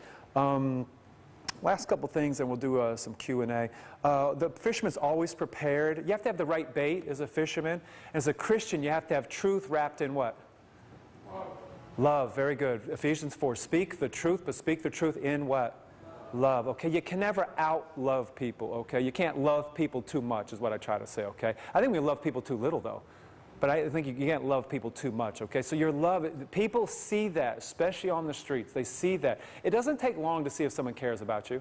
It really doesn't take long to figure that out, okay? And so again, uh, the more I've been witnessing, I, just much more loving and caring I've gotten for people through the years. And I want to encourage you with that um, as well. I was in the San Antonio airport two weeks ago, and um, don't talk to people in restrooms, but I did this time. And uh, I was, this guy, he had a cross, a big cross on his thing. I said, why do you wear your cross? Just a very easy way. I was talking to a guy at Providence College. Hey, why do you wear your cross? And just getting conversations. And very few people wear it for Christianity, believe it or not, okay? Uh, why do you wear your cross? He said, oh, he said, um, I'm Roman Catholic, and boom, boom, boom. So we started talking about this. And, you know, so just, it's real quick. I said, hey, do you like to read? He said, I love to read. And so I signed a Paradise book, gave it to him and stuff. And uh, he looked at me and he said, uh, his name was uh, Juan, and he looked at me and said, he said, meeting you has made my whole trip here to San Antonio worthwhile. Okay? Five minutes. It was, it was five minutes. It was really basic stuff, is all it was, okay? But it was just because you cared about somebody and cared about their soul. That means something to people in our, in our society, right? We still live in a society, even trying to get something from you, trying to take something from you. I can't tell you how many times. It happened yesterday at Johnson & Wales. I was signing a book to give it to a guy named Eric there, and his first words out of that when I got to sign the book for him was, what? How much? What was the what impression did he have of Christians that the Christian guy who was witnessing would just want to get a dollar, you know, ten dollars out of his pocket or something like that? We need to reset that standard, don't we? And this group here can reset that standard that we're givers, not takers as Christians, right? They need to see that out of us. For God so loved the world that he kept his only begotten Son to himself. Okay? No, for God so loved the world that he gave. He's a giver. He's a, that's what lovers do. You give. Jesus said it's more blessed to give than receive. And we got to set the standard and do that, okay? Um, let's do, uh, all right, let's do this. We'll do a Q&A. Uh, the other thing about fishing, it was talking about that the fisherman always anticipates. Uh, the nibble on the line, he anticipates. He's looking for the opportunities. Uh, one guy told me the other day that the fish always, the kind that he fishes for, always hang out in the weeds and the reeds and stuff. So he's always got to anticipate where they're going to be at a certain time. But they'll change and move during the day. So he's anticipating that during it as he's trying to um, get the fish that he wants to catch that day. So again, um, uh, we have to be paying attention in using things around us to get into these conversations. Okay, so I'm always looking. If you ever watch, I'm always looking to see what your necklace says, your T-shirt says, something on your hat, your tattoo. I'm always looking for things to get me into a conversation. And I was somewhere, and I was going into the luggage area, and a lady was walking in front of me. She had a dress on, but there was a, a tattoo hanging out the top of her dress here. And I said, "Hey, how you doing?" She said, "Good." I said, "Where'd you fly in from?" She said, great. I said, can I ask you a question? She said, I said, what's your tattoo? She said, oh, it's the book of life. And so she had the tattoo of a book of life on the top here. And uh, I said, really? So uh, I just need to assume she's a what? A what? Should you assume it? You know, we, we kind of do. We assume the person with the cross necklace is a Christian, and most of them won't be. Okay, we assume it. I had a lady at a Delta counter one day. Hey, why do you wear your cross? Oh, it was a gift. I said, oh, you're a Christian woman? Christian woman? She said, no, Buddhist. It's the Buddhist lady wearing a cross in the middle of the thing, right? And so we talked off the cross, is what we talked about, okay? And I said, uh, why'd you put the book of life on you? That's just a good question. Why'd you let her keep talking, okay? Why'd you put the book of life on you? She said, oh, I just went through this crazy period in my life, and I went to a Christian college uh, down south, and you know, just you know, a lot of these narrow-minded thinkers that, you know, there's one way to get to heaven and stuff like that. So it's just one of these, these seasons I went through my life. Okay? Wow, not the answer any of us thought we were going to get, including me, okay? So I said, you don't believe there's one way to get there? She said, no, no, I believe in many paths to get to heaven. There's many paths to get there now and do that. Okay, me and Stephanie had a fascinating talk, right? All off of her tattoo, right? So that tattoo's there. Do you like to read? She said, what? Yes, she loves to read, okay? And so I gave her one of the books I wrote to bring out truth, but the truth is going to be one way to get there, okay? But now the problem she also has, she's got the book of life tattooed on her, right? And she knows that's tattooed on her back, right? And she's going to know it's there and she's got to think about that. But see, someone pointed it out to her that's going to make her think about that. So again, we're anticipating, we're preparing, looking for those opportunities to do that. Okay? All right, so let's just see if we can tighten some of these up and do that. Okay, so who's got a question on witnessing a certain type of person, how you do it? Yes, ma'am. I work at a, a university, a public university, Okay. um, witnessing in the workplace. Okay, how do you witness in the workplace? A couple things. One, um, put in your notes Christian, C H R S, Christian Law, L A W, dot org, ChristianLaw.org. Okay? It's, it's a Christian law firm. Um, they have a lot of good stuff on their website. So they have little pamphlets how to witness in a public school, your rights to witness in a mall. Okay? Um, uh, anyone out here, if you're a business owner, uh, your rights to witness as a business owner. You have so many rights as a business owner. Do you know as a business owner, you can put scripture verses on your checks that you give to your employees? You have the total legal right to do that. But see, we're all politically correct world now. We're all cowering back and don't even know the rights that we have. Okay? Uh, why are they continuing uh, to give, uh, who died last week? Uh, Truett Cathy. Uh, Truett Cathy. Who knows who Truett Cathy is? Yeah, he was the founder of Chick fil A, okay? But when you read the articles about Chick fil A founder Truett Cathy dying, probably 70 to 80% of them put what in the article? About the stance they made against what? Uh, homosexual marriage, okay? That the stance they made for biblical marriage, man and woman marriage. And by the way, it wasn't even Truett. It was his son Dan Cathy that made the statements. Okay? Truett uh, Cathy um, started a chicken store, I think it was 1946, that now is the largest chicken chain in the world. It actually passed KFC. Last year it did.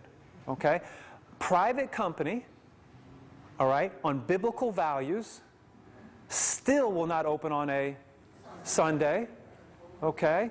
And he said, if we can't make our profit in six weeks, we don't need to be in business. He wants to make sure families are taken care of. You have family time and not working all the time like some jobs do us, right? Okay? And he wouldn't change that. So here, our society, okay, that wants to hate anything biblical, right? Any biblical stance that God says is it, right? Is turn, and even in the obituaries, I was reading some of them, we're putting in there what Dan Cathy said about that two years ago.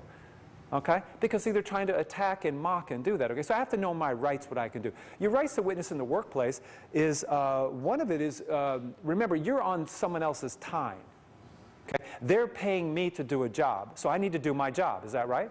I need to do my job, okay? Lunchtime's my time. My 15-minute break is my time, okay? So I tell businessmen all the time, and ladies, sit at your desk and read your Bible while you're drinking your coffee in your 15-minute break. I will guarantee you someone will walk up and say, what are you reading? Okay? Um, if they allow people to put personal posters up in your cubicles, you can put personal posters up about Christ in your cubicle because that's your personal space. I know a guy at Lexmark Printers uh, in Lexington, Kentucky. Um, his whole space became just a Christian witnessing space. Basically, his whole space was okay. And his employees would come in and start asking him questions because they knew he was the the Christian guy, just like John was, okay, and they could come and ask him questions. So you have tons of rights in the workplace. But remember, the best advice you have as a Christian in the workplace is be the best employee in the place. Public school teachers ask me all the time, how can I witness as a public school teacher? I said, simple. Be the best teacher in the school. Why? The principal will never get rid of what?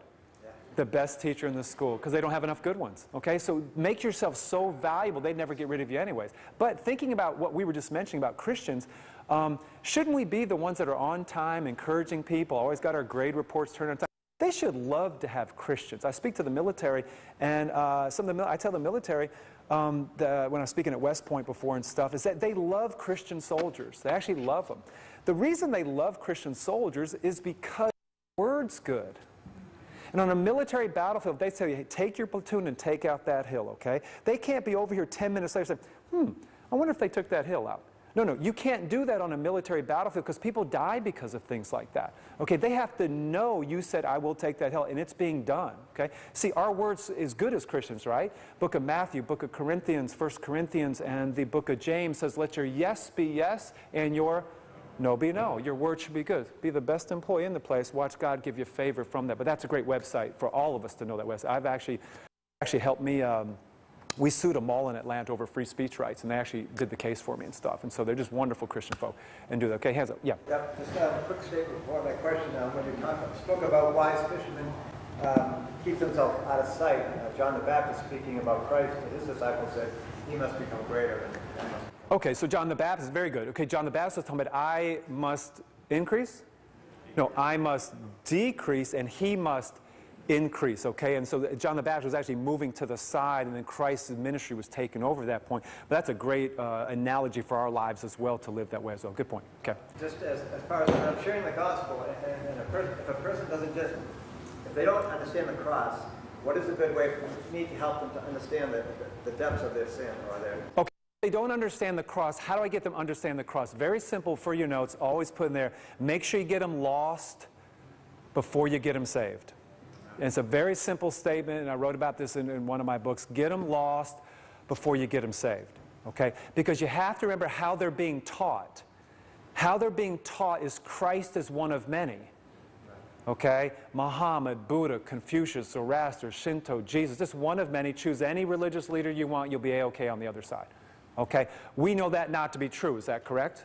Okay, so how do I get them to understand that cross better? Well, a sinner understands a Savior better. So I have to walk them through sin. In all five of the books I've written, the easiest way to do the Ten Commandments. Just walk them straight through the Ten Commandments. I've seen the easiest way biblically. You see Jesus doing it with the, um, the rich young ruler. Okay, so I just I walk up to people. I talk to people. Uh, you can ask the question: Would you consider yourself a good person? That's a good one. Ninety-eight point all percent of all people say what? Sure, they love to proclaim their own goodness. Um, I had a guy yesterday I was chatting with at college. I said, well, you know, God gave us a universal standard on being good. It's called the Ten Commandments. Let's see how you do. He said, okay, so have you ever, ever told a lie before? He said, yeah. So what does that make you? And a lot of people will say sinner or human, so I just go more specifically. If you're a murderer, you're a murderer. If you rape, you're a rapist. If you tell a lie, you'd be a what? A liar, okay? And let them say liar, okay? You ever stole something before? Yeah, what's it make you? A thief, all right? Um, uh, you ever lusted in your heart before? Yeah, Jesus said even looking upon a lust, same as committing adultery in your heart. He's checking our insides as well as outsides, okay? But he's also trying to teach us something that before you do outside action, it goes inside thought first. Action always comes second. Talk to any prisoner. They thought about robbing the bank first before they robbed the bank, okay? It always is the inside that moves to the outside. Uh, ever take the Lord's name in vain? Okay? Isn't it amazing we've reached a point in America that you can JC and GD it up anytime you want to, but if you use anything against a homosexual or anything anti-Islam, you're the narrow-minded bigots now? How can you use words like that? But people can mock the name. Well, just read coaches' lips during sporting events. They can mock God and Jesus Christ like nothing, and it's a-okay in our society. How far have we fallen, okay? But it's blasphemy if you've ever broken that. Uh, ever been angry with somebody? And he said, uh, yeah. I said, Jesus said, anger without cause, same as committing murder in your heart. Every now and then when I go to prison, I, I get up on, I get on death row, and um, when you meet murderers, every murderer you met, uh, anger first, shot and killed a wife over something. Anger first, knifed a buddy over because it's always inside that leads to outside. So then I just go with them. I said, you know, you told me keep pointing to them by God's standard. So you keep pointing back to God because He can handle the whole situation, right? I'm getting myself out of the way again, right? I'm trying to make sure in the way, right? Right. And then the questions do that. And um, by God's standard, be a liar, a thief, a blasphemer, adulterer, and a murderer. I said, and I said to the student yesterday, I said, would you be guilty or not guilty on Judgment Day? What did he say? Guilty. I said, would that mean heaven or would that mean hell? What did he say? Hell. I said, does it bother you that you be going to hell? What did he say? Yes, it does. That's a great question to ask people. Okay? And I don't mind ruining your day just a little bit, okay? If your eternity is about to be ruined, okay, um, I don't mind just ruin a little of your day, okay, and do that. Then I just go, do you know what it takes to make sure you don't go to hell? And most people tell you, no, I don't. Then you just explain, again, the cross. Repentance, Okay? Repent and believe. That's two, two words together. I talk about repentance, then believe upon the Lord Jesus Christ for the forgiveness of your sins. Okay? In the book uh, Paradise, we hit this really hard in here, and it's a great thing to put in your head and put in your witnessing, is, is put in there, put in your notes, perfect blood sacrifice. Very easy thing to remember. Perfect blood sacrifice, okay? So the, the, the Jews, and I explained this to the lady on the plane the other day, uh, the Jews, um, they would go to the altar. Now we're hitting to the, big high, Jewish high holidays are coming up. Uh, uh, the Day of Atonement, Yom Kippur, that's their Christmas season, that's the big one. But on the Yom Kippur, they would go to the temple in Jerusalem and they would take the perfect lamb, okay? The lamb that didn't have blemish wasn't retarded, didn't have a broken leg, didn't have a different color fur, just the perfect one. Okay? Lay it on the altar. By faith, you put your hands on it. By faith, your sins are transferred. They cut the throat, the shedding of the blood, your sins are remitted and gone. Okay? And when you talk to Jews, this is a great season to talk to Jews right now, okay, because of their high holidays and stuff, all right? Uh, and, and also what's going on in Israel. Um, I'm in the mall the other day in Birmingham. I meet Mariah. Um, she's uh, from, she wasn't from Tel Aviv, her coworker was. Uh, she started talking about Yeshua, because Yeshua is Jesus, right? And Hamashiach, Jesus the Messiah. Uh, Linda always tells me when she meets a Jewish person, she always says, Oh, I know who your Messiah is. Talk to, oh, I know who your Messiah is, okay? And they're like, what? Because they're looking for Mashiach, Messiah, right? That's why the empty plate is there during the Seder supper. And she looked at me, and we were talking about Jesus and stuff like that. She pulls out her phone, and she shows me a picture of her dad. My dad works for the IDF, Israeli Defense Forces, okay? When someone's kidnapped, my dad takes the team and goes over and gets the person back, hopefully before they've been killed, okay? Then once we get the person back, then my dad takes a team and goes finds the people that does it. That's what her pop does. She changes the picture. Those are my two brothers. 30 days ago, they were free citizens walking around Israel. Now they're up in the IDF and they were in full military gear. They're on the front lines in Gaza right now.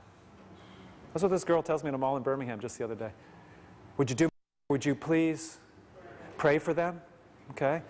So I said, sure, when I go home later tonight, Mariah, I'll pray for your family. No, where'd I do it at? Oh, right there, right there. In the name of who? Jesus, yeah. See, a lot of people never heard their name taken to the throne of God. So if you're on the streets at night with people and they ask for prayer, right there, right there and do it, okay? I've seen literally countenances change because they've never heard their name taken to God's throne before, okay?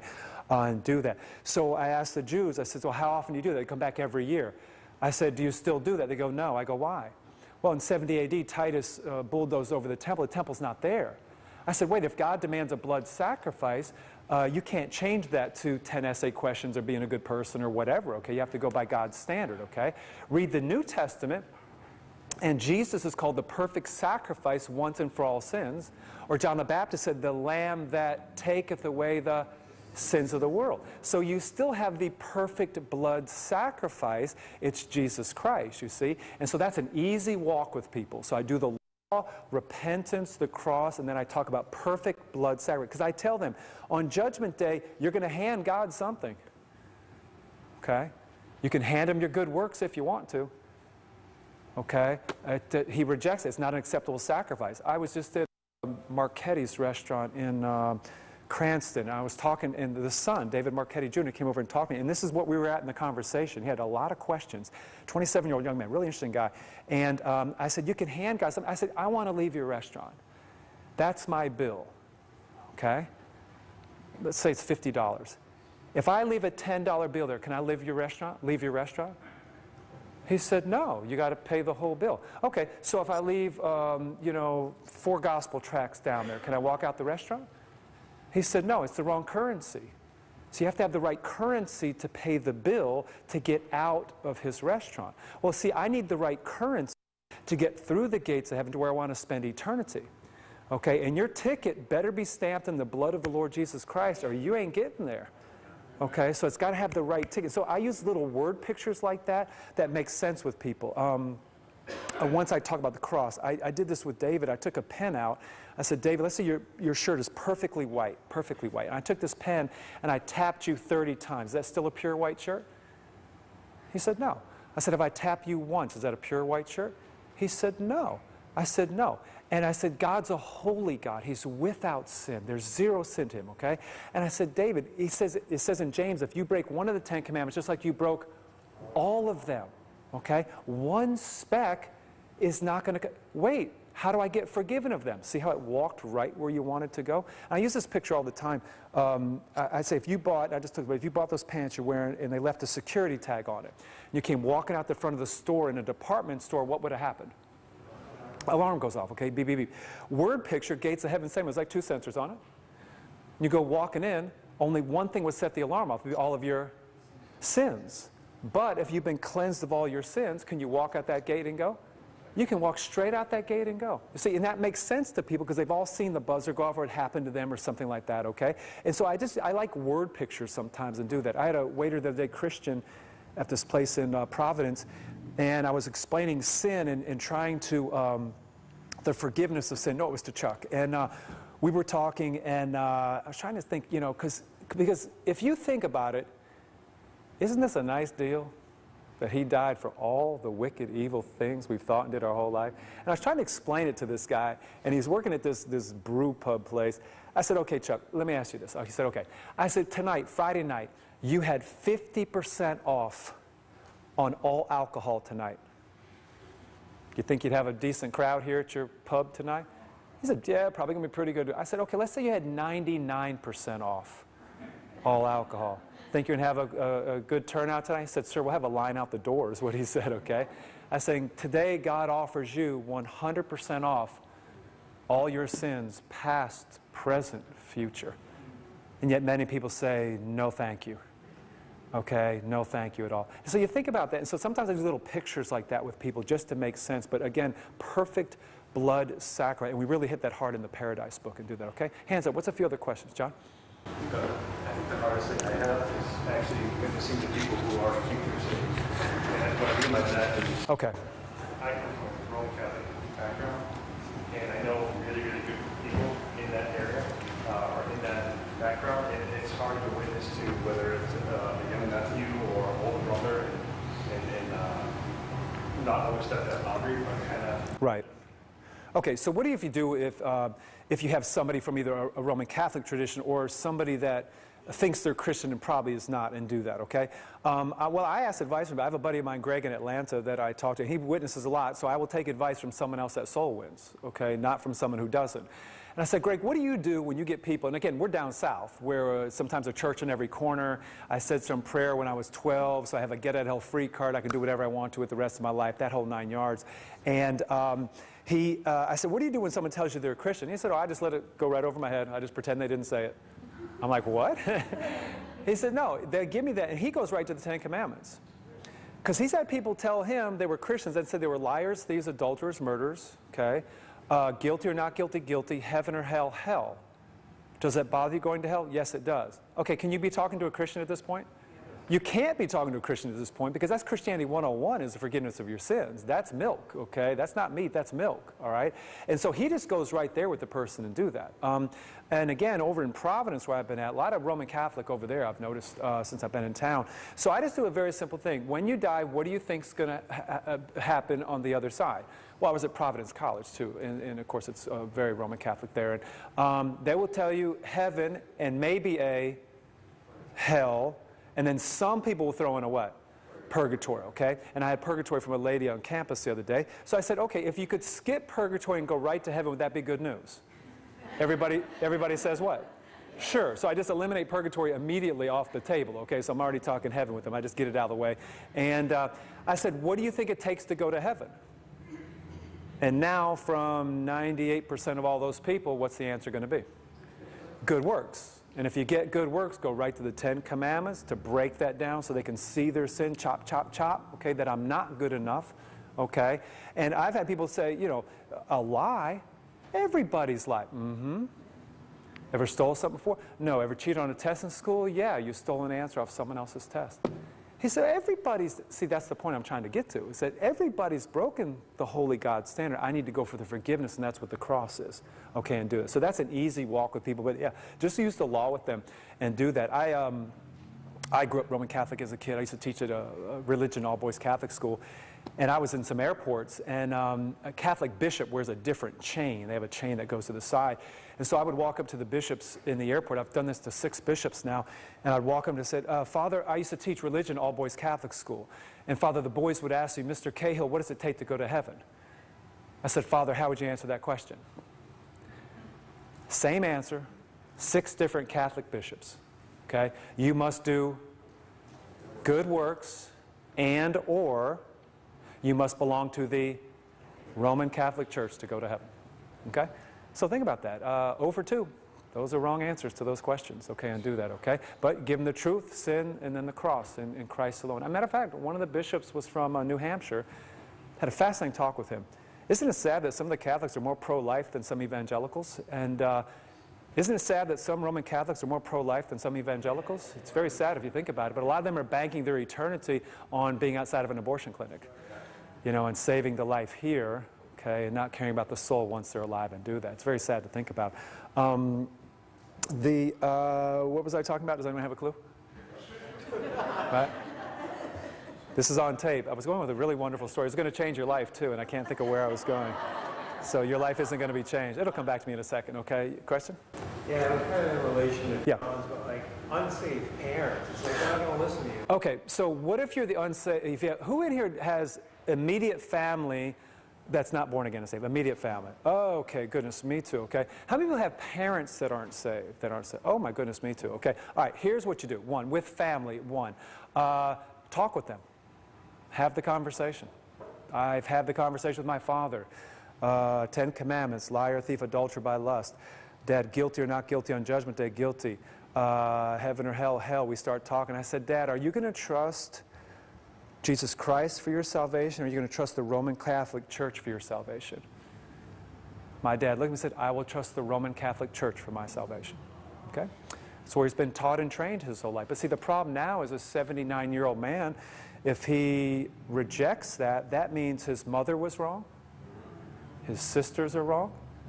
Okay, see, that's why you don't want to wait some, the end of someone's life. People do come to Christ at the end of their life, but you see very few deathbed conversions in the Bible. Very few. Uh, you see the thief on the cross. I don't know if there's another one in there, okay? Very, very few. All right, you want to reach them well before that because some people get very staunch in their ways late in life, okay? I want to reach them before. Now, other people totally open up at the end, okay? So you see both. You never give up on anybody. Um, didn't you tell me at lunch today that your dad got saved one week before he died, right? One week before he died, yeah. So uh, again, it was just, again, as she told the whole story, it was just the, the orchestration of God was just beautiful in this whole thing. And uh, at first, you were the uh, black sheep of the family, right, when you got saved. Yeah, you're sharing the story with me. And, uh, and at the end, dad gets saved right towards the end of his life. So it does happen and do that, okay? Um, so one, verbally witness. Two, pray someone else witnesses to him. Very important. Okay, so you're just not my crazy son, Mark, okay? So there's other crazies out there and do it. Very important. Pray someone else witnesses to him. Um, uh, I got my dad a ticket to go see his sisters in Dallas, so I got him a frequent flyer ticket, um, and I prayed God would put a, a, Christian next to him to witness to him. So he went out, came back. Uh, dad, how'd, um, how'd your trip go? Good. Uh, how are your sisters? Good. Sound like dad, right? The one word answers all the time. I said, uh, I said, how are your plane flights? Man, I had this real religious guy sitting next to me on this one flight. that's his version of a Christian guy, okay? Uh, somebody just took my brother Mike, um, I found out from someone, they took my brother Mike out for lunch in Tampa and shared Jesus Christ with my brother, okay? And Mike, if I heard correctly, uh, started calling his Christian friends and says, hey, did you set me up with him? Did you set me up? He thought, he thought someone set him up, okay? No, it's just a guy who cared about his soul, took him out to lunch and shared Christ with him, okay? So now it's not just his younger brother, okay? It's also someone else in Tampa. See, so you pray someone else witness to him. Number three, serve them. Serve that person. Serve them, serve them, serve them, okay? Um, we're Christians, right? We're different. We didn't come to be served, but to be a servant. Okay, so serve them. Do something so special for them that no other kid in the family does. All right? Uh, when my brother Mike flies into town um, just a couple weeks ago with his daughter, uh, Morgan, uh, I volunteered to pick him up at the airport. I volunteered to drive him around, and I volunteered to drive him back to the airport. Because I'm the Christian kid in the family, okay? That's what I need to do. No matter if I'm busy or not, I need to make sure I'm serving my brother. My sister saved well. She lives in a different city. Um, and Mike has seen the changes in his younger brother, Mark. Okay, so we, we exemplify that through our lives. And then the fourth one that works really, really well is um, write a letter to them. I just can't tell you the value of a handwritten letter. I just can't tell you the value of it, okay? Um, not a text message, uh, you know, not an email. Uh, don't hire the Goodyear blimp to, to fly over the house with a message. Uh, now, don't, don't order your personal drone from Walmart and fly a banner behind it over their house, okay? Uh, just a handwritten message, because a handwritten message speaks of time, value, love, caring. What's half the New Testament? Uh, letters, handwritten letters written to churches and other people, right? There's a value to a letter, right? Because what's our mailbox full of? Junk, total junk. We don't get handwritten letters anymore from people, okay? So when I get one, I know that has value coming to me and do that, okay? So use those letters with people, okay? And I've just seen that. Uh, my dad's recently started reading his Bible. My brother Mike uh, just started reading the reunion book I wrote. So things are starting to happen in our families that has never happened before. Not there yet. Three of the six have gotten saved. We've got a little bit more to go, but at least we're heading the right direction to do that, okay? So don't assume that, um, because to my dad, I'm always his kid. I'm 52 now, but I'm always this kid. It'll never change and do that, okay? So it's just one of those things, and that's okay. Um, but, you know, when truth is being spoken in love, people listen to truth in love, even if it's their middle son, their, their son that does, okay? Uh, another question, sir? How would to someone who has a mental disability or mental illness? Mental disability or mental illness. Gosh, uh, Baron, Charlie, any idea? Don't sit there and look at me. I was going to get some help. And uh, mental disability or mental illness. I, I mean, I have a friend um, that has a child with Down syndrome, and we sit there and talk to her about Jesus Christ and all that. I mean, uh, mental ability, mental illness. I would go back to. Uh, is the question if they die, would they go to heaven or not? Is that part of the question? With a mental disability or Down syndrome, something like that? Is that part of your question? Does the same, you know, same things apply to them as it would to everyone else? They may not understand. Okay. Uh, go to Deuteronomy chapter 1. Uh, go to Deuteronomy. I thought that's where you were going. I just wasn't sure. And once I got no help from the front row, I was. Uh, I'm never coming back to this place. And uh, let's go to Deuteronomy 1. I threw out a lifeline and no one grabbed it on the front row. That was great. Uh, go to Deuteronomy 1 and go to um, uh, 39. Now, I'm just taking a verse here. You want to read it all in context. You read scriptures in context. Moreover, your little ones, which you said uh, should be a prey, and your children, which in that day had no knowledge between good and evil, they shall go in thither and unto, it well, I give it to them, they, they shall possess the land, okay? Uh, they had no knowledge of good and evil, okay? You also have it repeated in Isaiah, almost the exact same phrase, no knowledge of good and evil. That's where we get the term age of what? accountability. You actually get it from that verse, okay? But it doesn't give an age, though. That's the whole issue. I think the issue is knowing the difference between good and evil. Okay. Sometimes, uh, you know, kids in a restaurant, they're just uh, they're just disobeying because they're disobeying. They don't understand good and evil yet. Okay. They're doing anti. But once I have the knowledge, I always used to teach my students. Once you have the knowledge of what evil is, and you know I'm doing this and it's evil against God, against my parents, that to me is the age of accountability because now you know you could do good and not do what you were choosing to do. Now, what age that is, I don't know that. Okay, I have no clue. I think it's different on different people, actually. Um, typically, you get the age of accountability uh, 13, and you get that from bar mitzvahs or bat mitzvahs is where you get it from. But a, a friend of mine, uh, Dr. Martin, who just studies the scriptures, he said, if I will give you any age of accountability in the Bible, he said, I'll give you the age of 20. I said, why'd you do that, Dr. Martin? He said, because when you study the Bible, there was only a certain age male that be, could, could be counted for a census, or a certain age male that could go out for war. And what was the age of the male? 20. So that's why he said if you want to go off a number in the Bible, because the Bible has to be everything. He has to answer every question from the Scripture. That's his. That's his. Well, we should all do that, but he just lives his life like that. Okay. So again, I go with that, and so I still talk to um, Down syndrome kids about Jesus Christ and stuff. But again, I, I don't know that age there, and do they know right from wrong? So that's why I go with it there. And there's also another reference in Isaiah to do that as well. Okay. Um, when you, I'm going to close it up for you right here. Uh, when you walk out downstairs, uh, there's books for you downstairs. Who's a pastor of a church in here? How many pastors we got of churches? Okay. Um, I wrote a book called The Watchman. Uh, Charlie, can you make sure, or, or, Jay, can you make sure those other books underneath get on the table? There's one more case of The Watchman. Make sure everybody gets a copy of this. If you want a book on soul winning, uh, this book has really challenged so many people to be bold soul winners for Jesus Christ. Pastors, please take a free one of it, okay, and do it. There's also a free study guide with this one. Um, uh, we have a lot of churches going through, a lot of Sunday school class going, but it's, it's on Ezekiel 33 being the watchman on the wall, okay? That we need to blow the trumpet and warn somebody trouble's coming. Is that right? Is that right? Okay, now, um, aren't you glad someone warned you? Trouble? Yeah, I'm glad someone warned me trouble was coming, okay? Which wound up me and being here 30 years later and do that, okay? How many people have lost people you're trying to reach for Jesus? Have lost people you're trying to reach? Okay, hands down, let's try again. How many people have lost people you're trying to reach for Jesus? Okay. Should be all of us, right? Everyone should have somebody you're investing into, planning some time. Now, it might be a total stranger you're going to meet today that you're investing some time in, okay? So, um, we did the two books, uh, they're both novels called Paradise and Reunion. They're down there on the table for you, okay? Um, they, they're historical fiction, so they're all true. It's just, just truth weaved into a fictional story is what it is, all right? So the Paradise book, uh, the guy's trying to figure out the afterlife. Is it nothing? Is it reincarnation? Is it heaven or hell? But you get it in the first chapter. He only has 24 hours to live. His very last day, okay? So his last day is counting down, but he Joan Rivers did not know that it was her last day. Okay? But if she knew it was her last day and what she knows now, um, she would have come back and repented of her sins and got born again and saved. But it's too late for Joan Rivers. But who witnessed to her? Who handed her a gospel track? Who cared enough about her soul to chat with her and do that, okay? One of the characters in the book, since you deal with so much Roman Catholicism, but one of the characters in the book is Roman Catholic, okay? But his wife gets saved.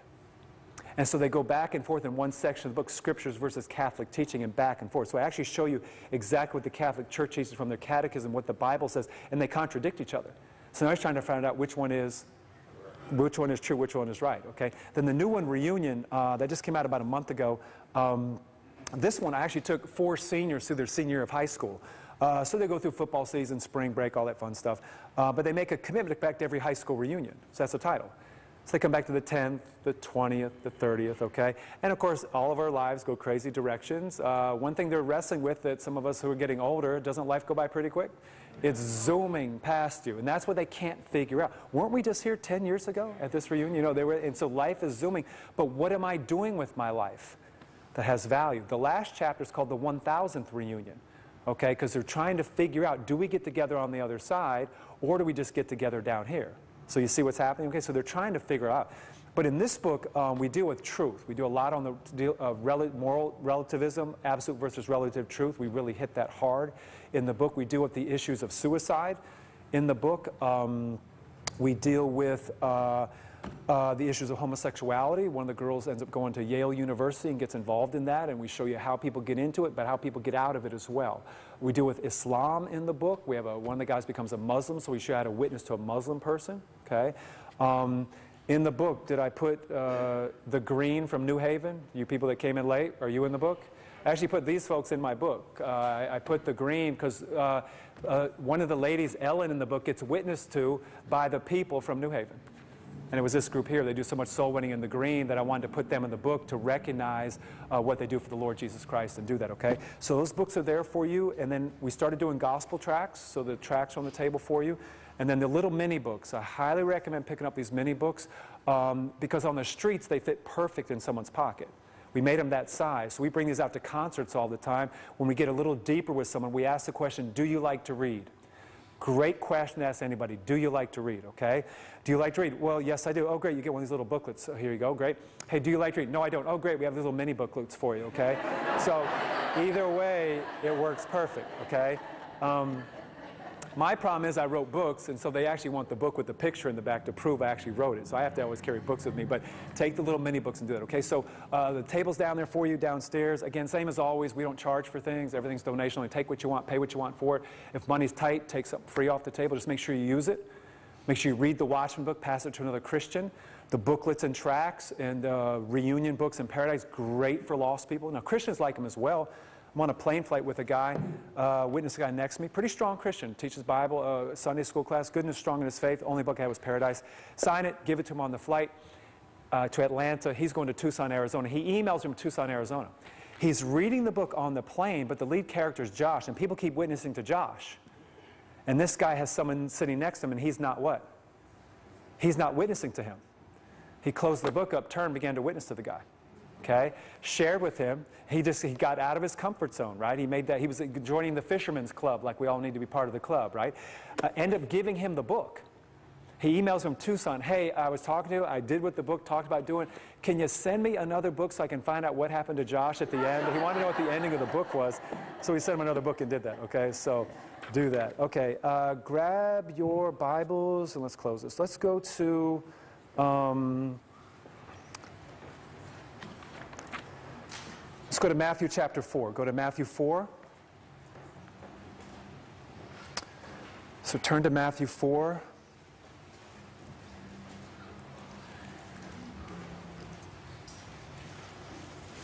And let's go to verse 19. Matthew 4, verse 19. Okay. Volunteer for that? Someone raise a hand up for me. Matthew 4, verse 19. Nice and loud. Chip. And he saith unto them, Follow me, and I will make you fishers of men. Come follow me, and I'll make you a great athlete. Come follow me, and I'll make you a great student. Come follow me, and make sure your kids are healthy all the days of your life. Come follow me, make sure your bank account is full, even when the economy is a little rough in America. Come follow me, I'll make sure your sports team wins this event. No, Jesus keeps things very simple. The, the Bible's simple truth. When you're witnessing on the streets, keep it simple. You can't argue with simple truth. Keep it nice and simple with people, okay? Um, come follow me, and I'll make you what? Fishers of men. Why? It's the highest call in life. The highest call in life is to fish for other souls. Every one of us needs to be in the fisherman's club. Now, y'all know me well enough. I've been here three times at church now, and I'm big on encouragement. If you haven't been fishing for souls, that's okay. Today's what? It's a new day. Back on track today. Back on track today and hand some of the gospel track. Never worry about handing out two tracks. Worry about handing out one track. One becomes two, two becomes three. Okay? Don't worry about witnessing to everybody at the training session. Just start with one lady. And one becomes two, two becomes three, and next you know, a case of books is in people's hands. Okay? So getting started is half the battle i- i- for us as soul winners. Satan has most Christians where he wants, he has them stopped. If you ever get started, you may not stop. Okay, that's what I love about the New Haven group. You guys have gotten started and you literally have not stopped, okay? And training up other kids now that go off to other colleges and they're witnessing at their colleges there and it keeps spreading out to other people because they got started, now they may not stop, okay? That's what you, you follow Christ, um, you're a fisher of men. Um, i- i- conclusion here it's easy to determine when something is aflame, it ignites other material. Any fire that does not spread will eventually go out. A church without evangelism is a contradiction in terms. A church without evangelism is a contradiction in terms. How sad a lot of our churches are in 2014. It's a contradiction in terms. There's no soul winning in those churches, okay? Um, but just as a fire that does not burn is a contradiction. I got an email from a guy. Um, he was reading One Heartbeat Away. He put his phone number there. I called the guy up. Ohio, 89 year old World War II veteran, machine gunner, Battle of the Bulge. Okay? I have history on the telephone. I'm picking this man's brain, okay? We're talking back and forth. So, he was in a VA hospital, and the One Heartbeat Away was sitting on a table. He picked it up, looked at it, said, Well, it's on the table. I guess I can take it with me. So he took it home, okay? Was reading the book. He emails me. He said, Sir, I've read this book a time and a half, okay? One and a half times through. He said, Sir, let me tell you something. I have 300 years of Catholicism in my life.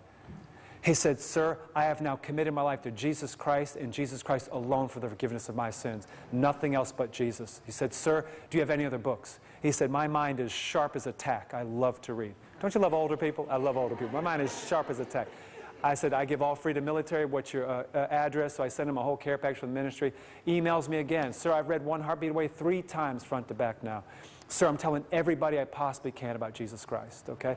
He's this 89 year old man that's just on fire for the Lord Jesus Christ. See, the flame got ignited. I don't know who put that book there, but the book got in someone's hand, and literally God took it and did amazing things with that, okay? So think about that. I got a phone call a year ago uh, Lucia called me, and she has an accent. I love accents. So I, I, called Lucia back. She's in San Diego. Lucia, how you doing? Where's your accent from? She said, it's German. I said, oh, great. How'd you get from Germany to San Diego? She said, no, no, no. I came from Argentina. Wait. How did the Germans get to Argentina? When? After what? After World War II. Remember, the Argentinians accepted the Nazis down there. Josef Mengele and all those guys went to Argentina after the war in World War II. She tells me on the phone, she said, My grandparents were Nazis. My parents were Nazis. She said, My uncle wrote the book, I Paid Hitler. It's a legitimate book. I Googled it. And, it's, and he was a money man for Hitler. He'd go to the steel and she'd get a million marks for the Third Reich and give it to Hitler. He just collect money from people. He said, the uncle, she tells me on the telephone, she when I was a kid, I learned about Hitler but I didn't learn about God. Somebody gave her one of our books, okay? Someone was witnessing to her. One of you folks out here was witnessing gave her a book, and she's reading. She's a Mensa level genius. She loves to read and study. She just left me a message on my phone. I've been traveling, and she told me um, that she is now uh, born again and saved. She committed her life to Jesus Christ for forgiveness of her sins, okay? She said on the uh, thing, she said, no more Hitler talk, is what she said. And monsters and all that. Think about that for a second. The monsters you have, the demons you would be dealing with because of that, okay?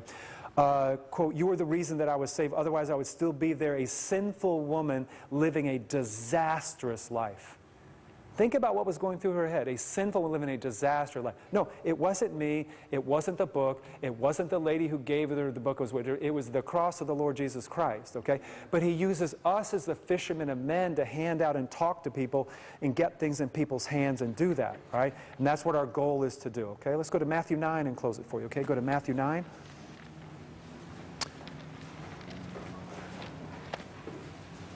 Matthew chapter 9, let's go to 35. Matthew, Mark, Matthew 9. Let's go to 35, 36, 37, and 38. So, okay, uh, hands up for me. Let's get four volunteers. We'll close that for you. Matthew 9, 35, 36, 37, and 38. So 35 right there. Okay, 36 right there, 37 right there, and 38 right there. All right? Jesus went about all the cities and villages, teaching in the synagogues, healing every sickness, every disease First thing you notice, Jesus cares about people, doesn't he? That's one thing you get very quickly. Um, I always I wrote it in one of the books. If they know you care, they'll listen to you when you share. If they know you care, they'll listen to you when you share. Okay, it doesn't take long for people to know if you care about them very much. Okay, it doesn't take long to do that. Okay, 36. But when he saw the multitudes, he was moved with compassion on them because they fainted and were scattered abroad as sheep having no shepherd. Sheep having no shepherd. He had compassion. Do you have compassion on people out there? Do you care about people where they come from? Do you care about the Susies that have two people commit suicide right in front of you? Do you care about these people? Do you care about those prisoners that, what was it last night? Probably 85% of them did not grow up with their biological father in the same household. We had them raise hands up trying to figure this out. Do you care about these men? Or just write them off? Care about the person that's covered in tattoos that you run into somewhere tonight that's screaming at you on the outside, something's wrong on the inside. But you let that be the barrier that you won't cross that barrier and talk to that person. When you'll find some of the nicest people you ever meet in your life are covered in tattoos. Okay, because they're using a different way of communication with you and do that. Okay, would you walk past that barrier? Compassion. 37. And say unto disciples, the harvest is, is, uh, harvest truly is uh, but the laborers are. The laborers are few, but the harvest is great. 38. Pray therefore the Lord of the harvest that he will send forth laborers into his harvest. Okay. Oh, th- thank you. Into his harvest. Sorry, I cut you off there. Into his harvest field, okay? We need more people on the streets, right? We need people w- more witnessing in our schools, is that right? We need more people witnessing at their workplace, is that correct? Hey, that's us, y'all. That's us, okay? And even if not one person at your church shares their faith, that doesn't mean that's you, right? You stand in front of God. You have a one on one meeting with the Lord Jesus Christ. You better get ready for it. I was at a church the other day, and the, and the pastor said to me, I'm so glad I brought you to my church. I've gotten away from personal soul winning. Okay? He was basically becoming a CEO over his church. Okay? No, that's not what God called any of us to. You come follow me, I will make you what? Fishers of men. Okay, it's the highest call in life, all right? We all need to be about doing it because then iron sharpens iron and then it rolls off on all those people in your congregation. They start doing that and sharing their faith and being bold and stand up strong for God in Jesus Christ and do that. Remember, um, the Savior's hook is the cross, but do you even have it in the water? Interesting to think about. The Savior's hook is the cross, but do you even have it in the water? Okay? Satan has a hook too, but he tries to hook our mind and our flesh right, and reel us in away from the cross. But Satan's real, is that correct? Is hell real, is that correct? One week ago, Sunday, I walked out of my hotel to preach at a church in Ohio, start chit chatting with a man. Donald looks at me and says, When I was a kid, I was standing at my grandmother's deathbed. And my grandmother started dying right in front of me. Says, My grandmother began to scream. My feet are on fire. My feet are on fire. My feet are on fire. Flatlined and died. That 50 some year old man looked in front of that hotel, looked at me and said, I know without a doubt my grandmother died and went to hell. She was experiencing the flames before she died. He said, a very short time after that, I repented my sins and got born again and saved. Okay? Hell's real. Compassionate people don't want anyone to go to a place like that. Think about that, okay? Uh, remember, from fish perspective, fish don't discriminate. Right? Fish don't care if you're tall, short, skinny, whatever. Uh, black, white, Asian, Hispanic, rich or poor. They don't care. They're just looking for some food. Right? They don't care. Fish don't discriminate. And you know what's interesting? Lost people don't discriminate either. Anyone that brings up truth to them in love, they get past the racial things and things like that. They get past it. There's a caring individual that brings truth to this person, okay? Only requirements in the Bible to share your faith that I can find are uh, to be born again, and breathing. That's the only two I can find in the Bible. Okay? When you're born again, and you know if you are, right? You have everything to share with somebody, right? Breathing, check real quick if you need to. Okay, you know if you are. You can do something today Paul can't do. You can do something today Peter can't do. Andrew can't do. John Wesley, Charles Wesley can't do today. Good friend of mine, Brother Woody, died a few months back. Uh, you can do something Brother Woody can't do, but he loved doing when he was here, though. Whew, what a bold man of God he was, okay? We can still fish for souls, right? Yes, we can, okay? So the question is, we need more people in the harvest field. This group needs to make a commitment that you're part of the fisherman's club. When you're part of God's fisherman's club, God uses those people in an amazing way in the days to come. Careful, though, fishermen, all right? Know who you answer to. You answer to God, nobody else. You'll have people in your church try to get you not to share sometimes. Pastors sometimes will tell you that doesn't work anymore. We don't do it that way anymore in 2014. Well, I'm sorry. I saw Paul do it in the scriptures and Peter do it. Okay? We need to be part of the Fisherman's Club. If you haven't been, that's okay. Today's what? New day. If you have been, keep on keeping on. Finish well. I fought the good fight. I finished the course, the race. I kept the faith. Okay? Hand the baton correctly to the people behind us. Okay, so the young ones behind us can see older people walking out here sharing their faith and being bold, right? Then they hand the baton to the next and the next, okay? You have some tools, but again, we can talk witnessing all we want to. We just need to what? Just go do it. Just go do it. You glad someone told you about Jesus back in the day? Anybody glad? I'm glad someone walked up to me at college and told me about Jesus Christ. Okay? I spoke at the University of Northern, Arizona, uh, Northern Iowa to a Christian group. The Atheist Association came to hear me. Six of the guys did. When I finished, they surrounded me, started firing questions on evolution and this, and there is no God and this. And um, I said, hold on. We started talking. But you know, I thought about it later. I wonder how many classes they took on how to defend atheism.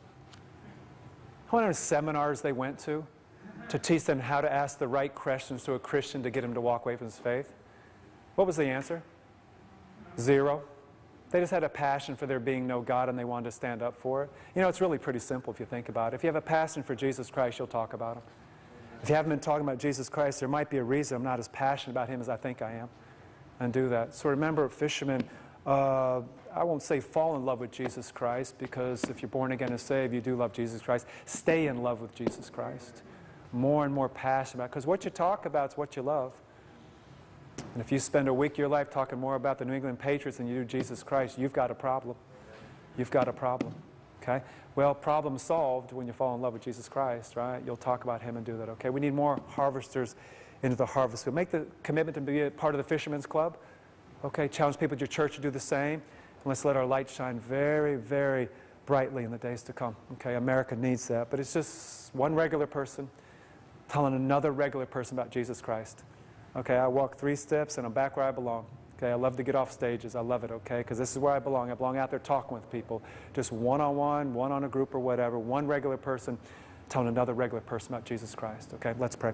Father, thank you so much for just uh, a great, great uh, turnout here, man. It's so exciting to see people have come this far um, to hear your word, Father, and to serve you. Father, I thank you for uh, Pastor Barron, who's just been a, a grand example for me that I get to talk to other pastors about uh, pastors here in Massachusetts and other places that are just standing bold for you. And there's not a ton of that out there with pastors. So I just hope the pastors here feel encouraged to be back to that personal soul winning like uh, Peter and Paul did in the scriptures. Father, thank you for the scriptures. I thank you for the analogies. I thank you for the fishing analogies. I thank you for the people I talked to to put this talk together.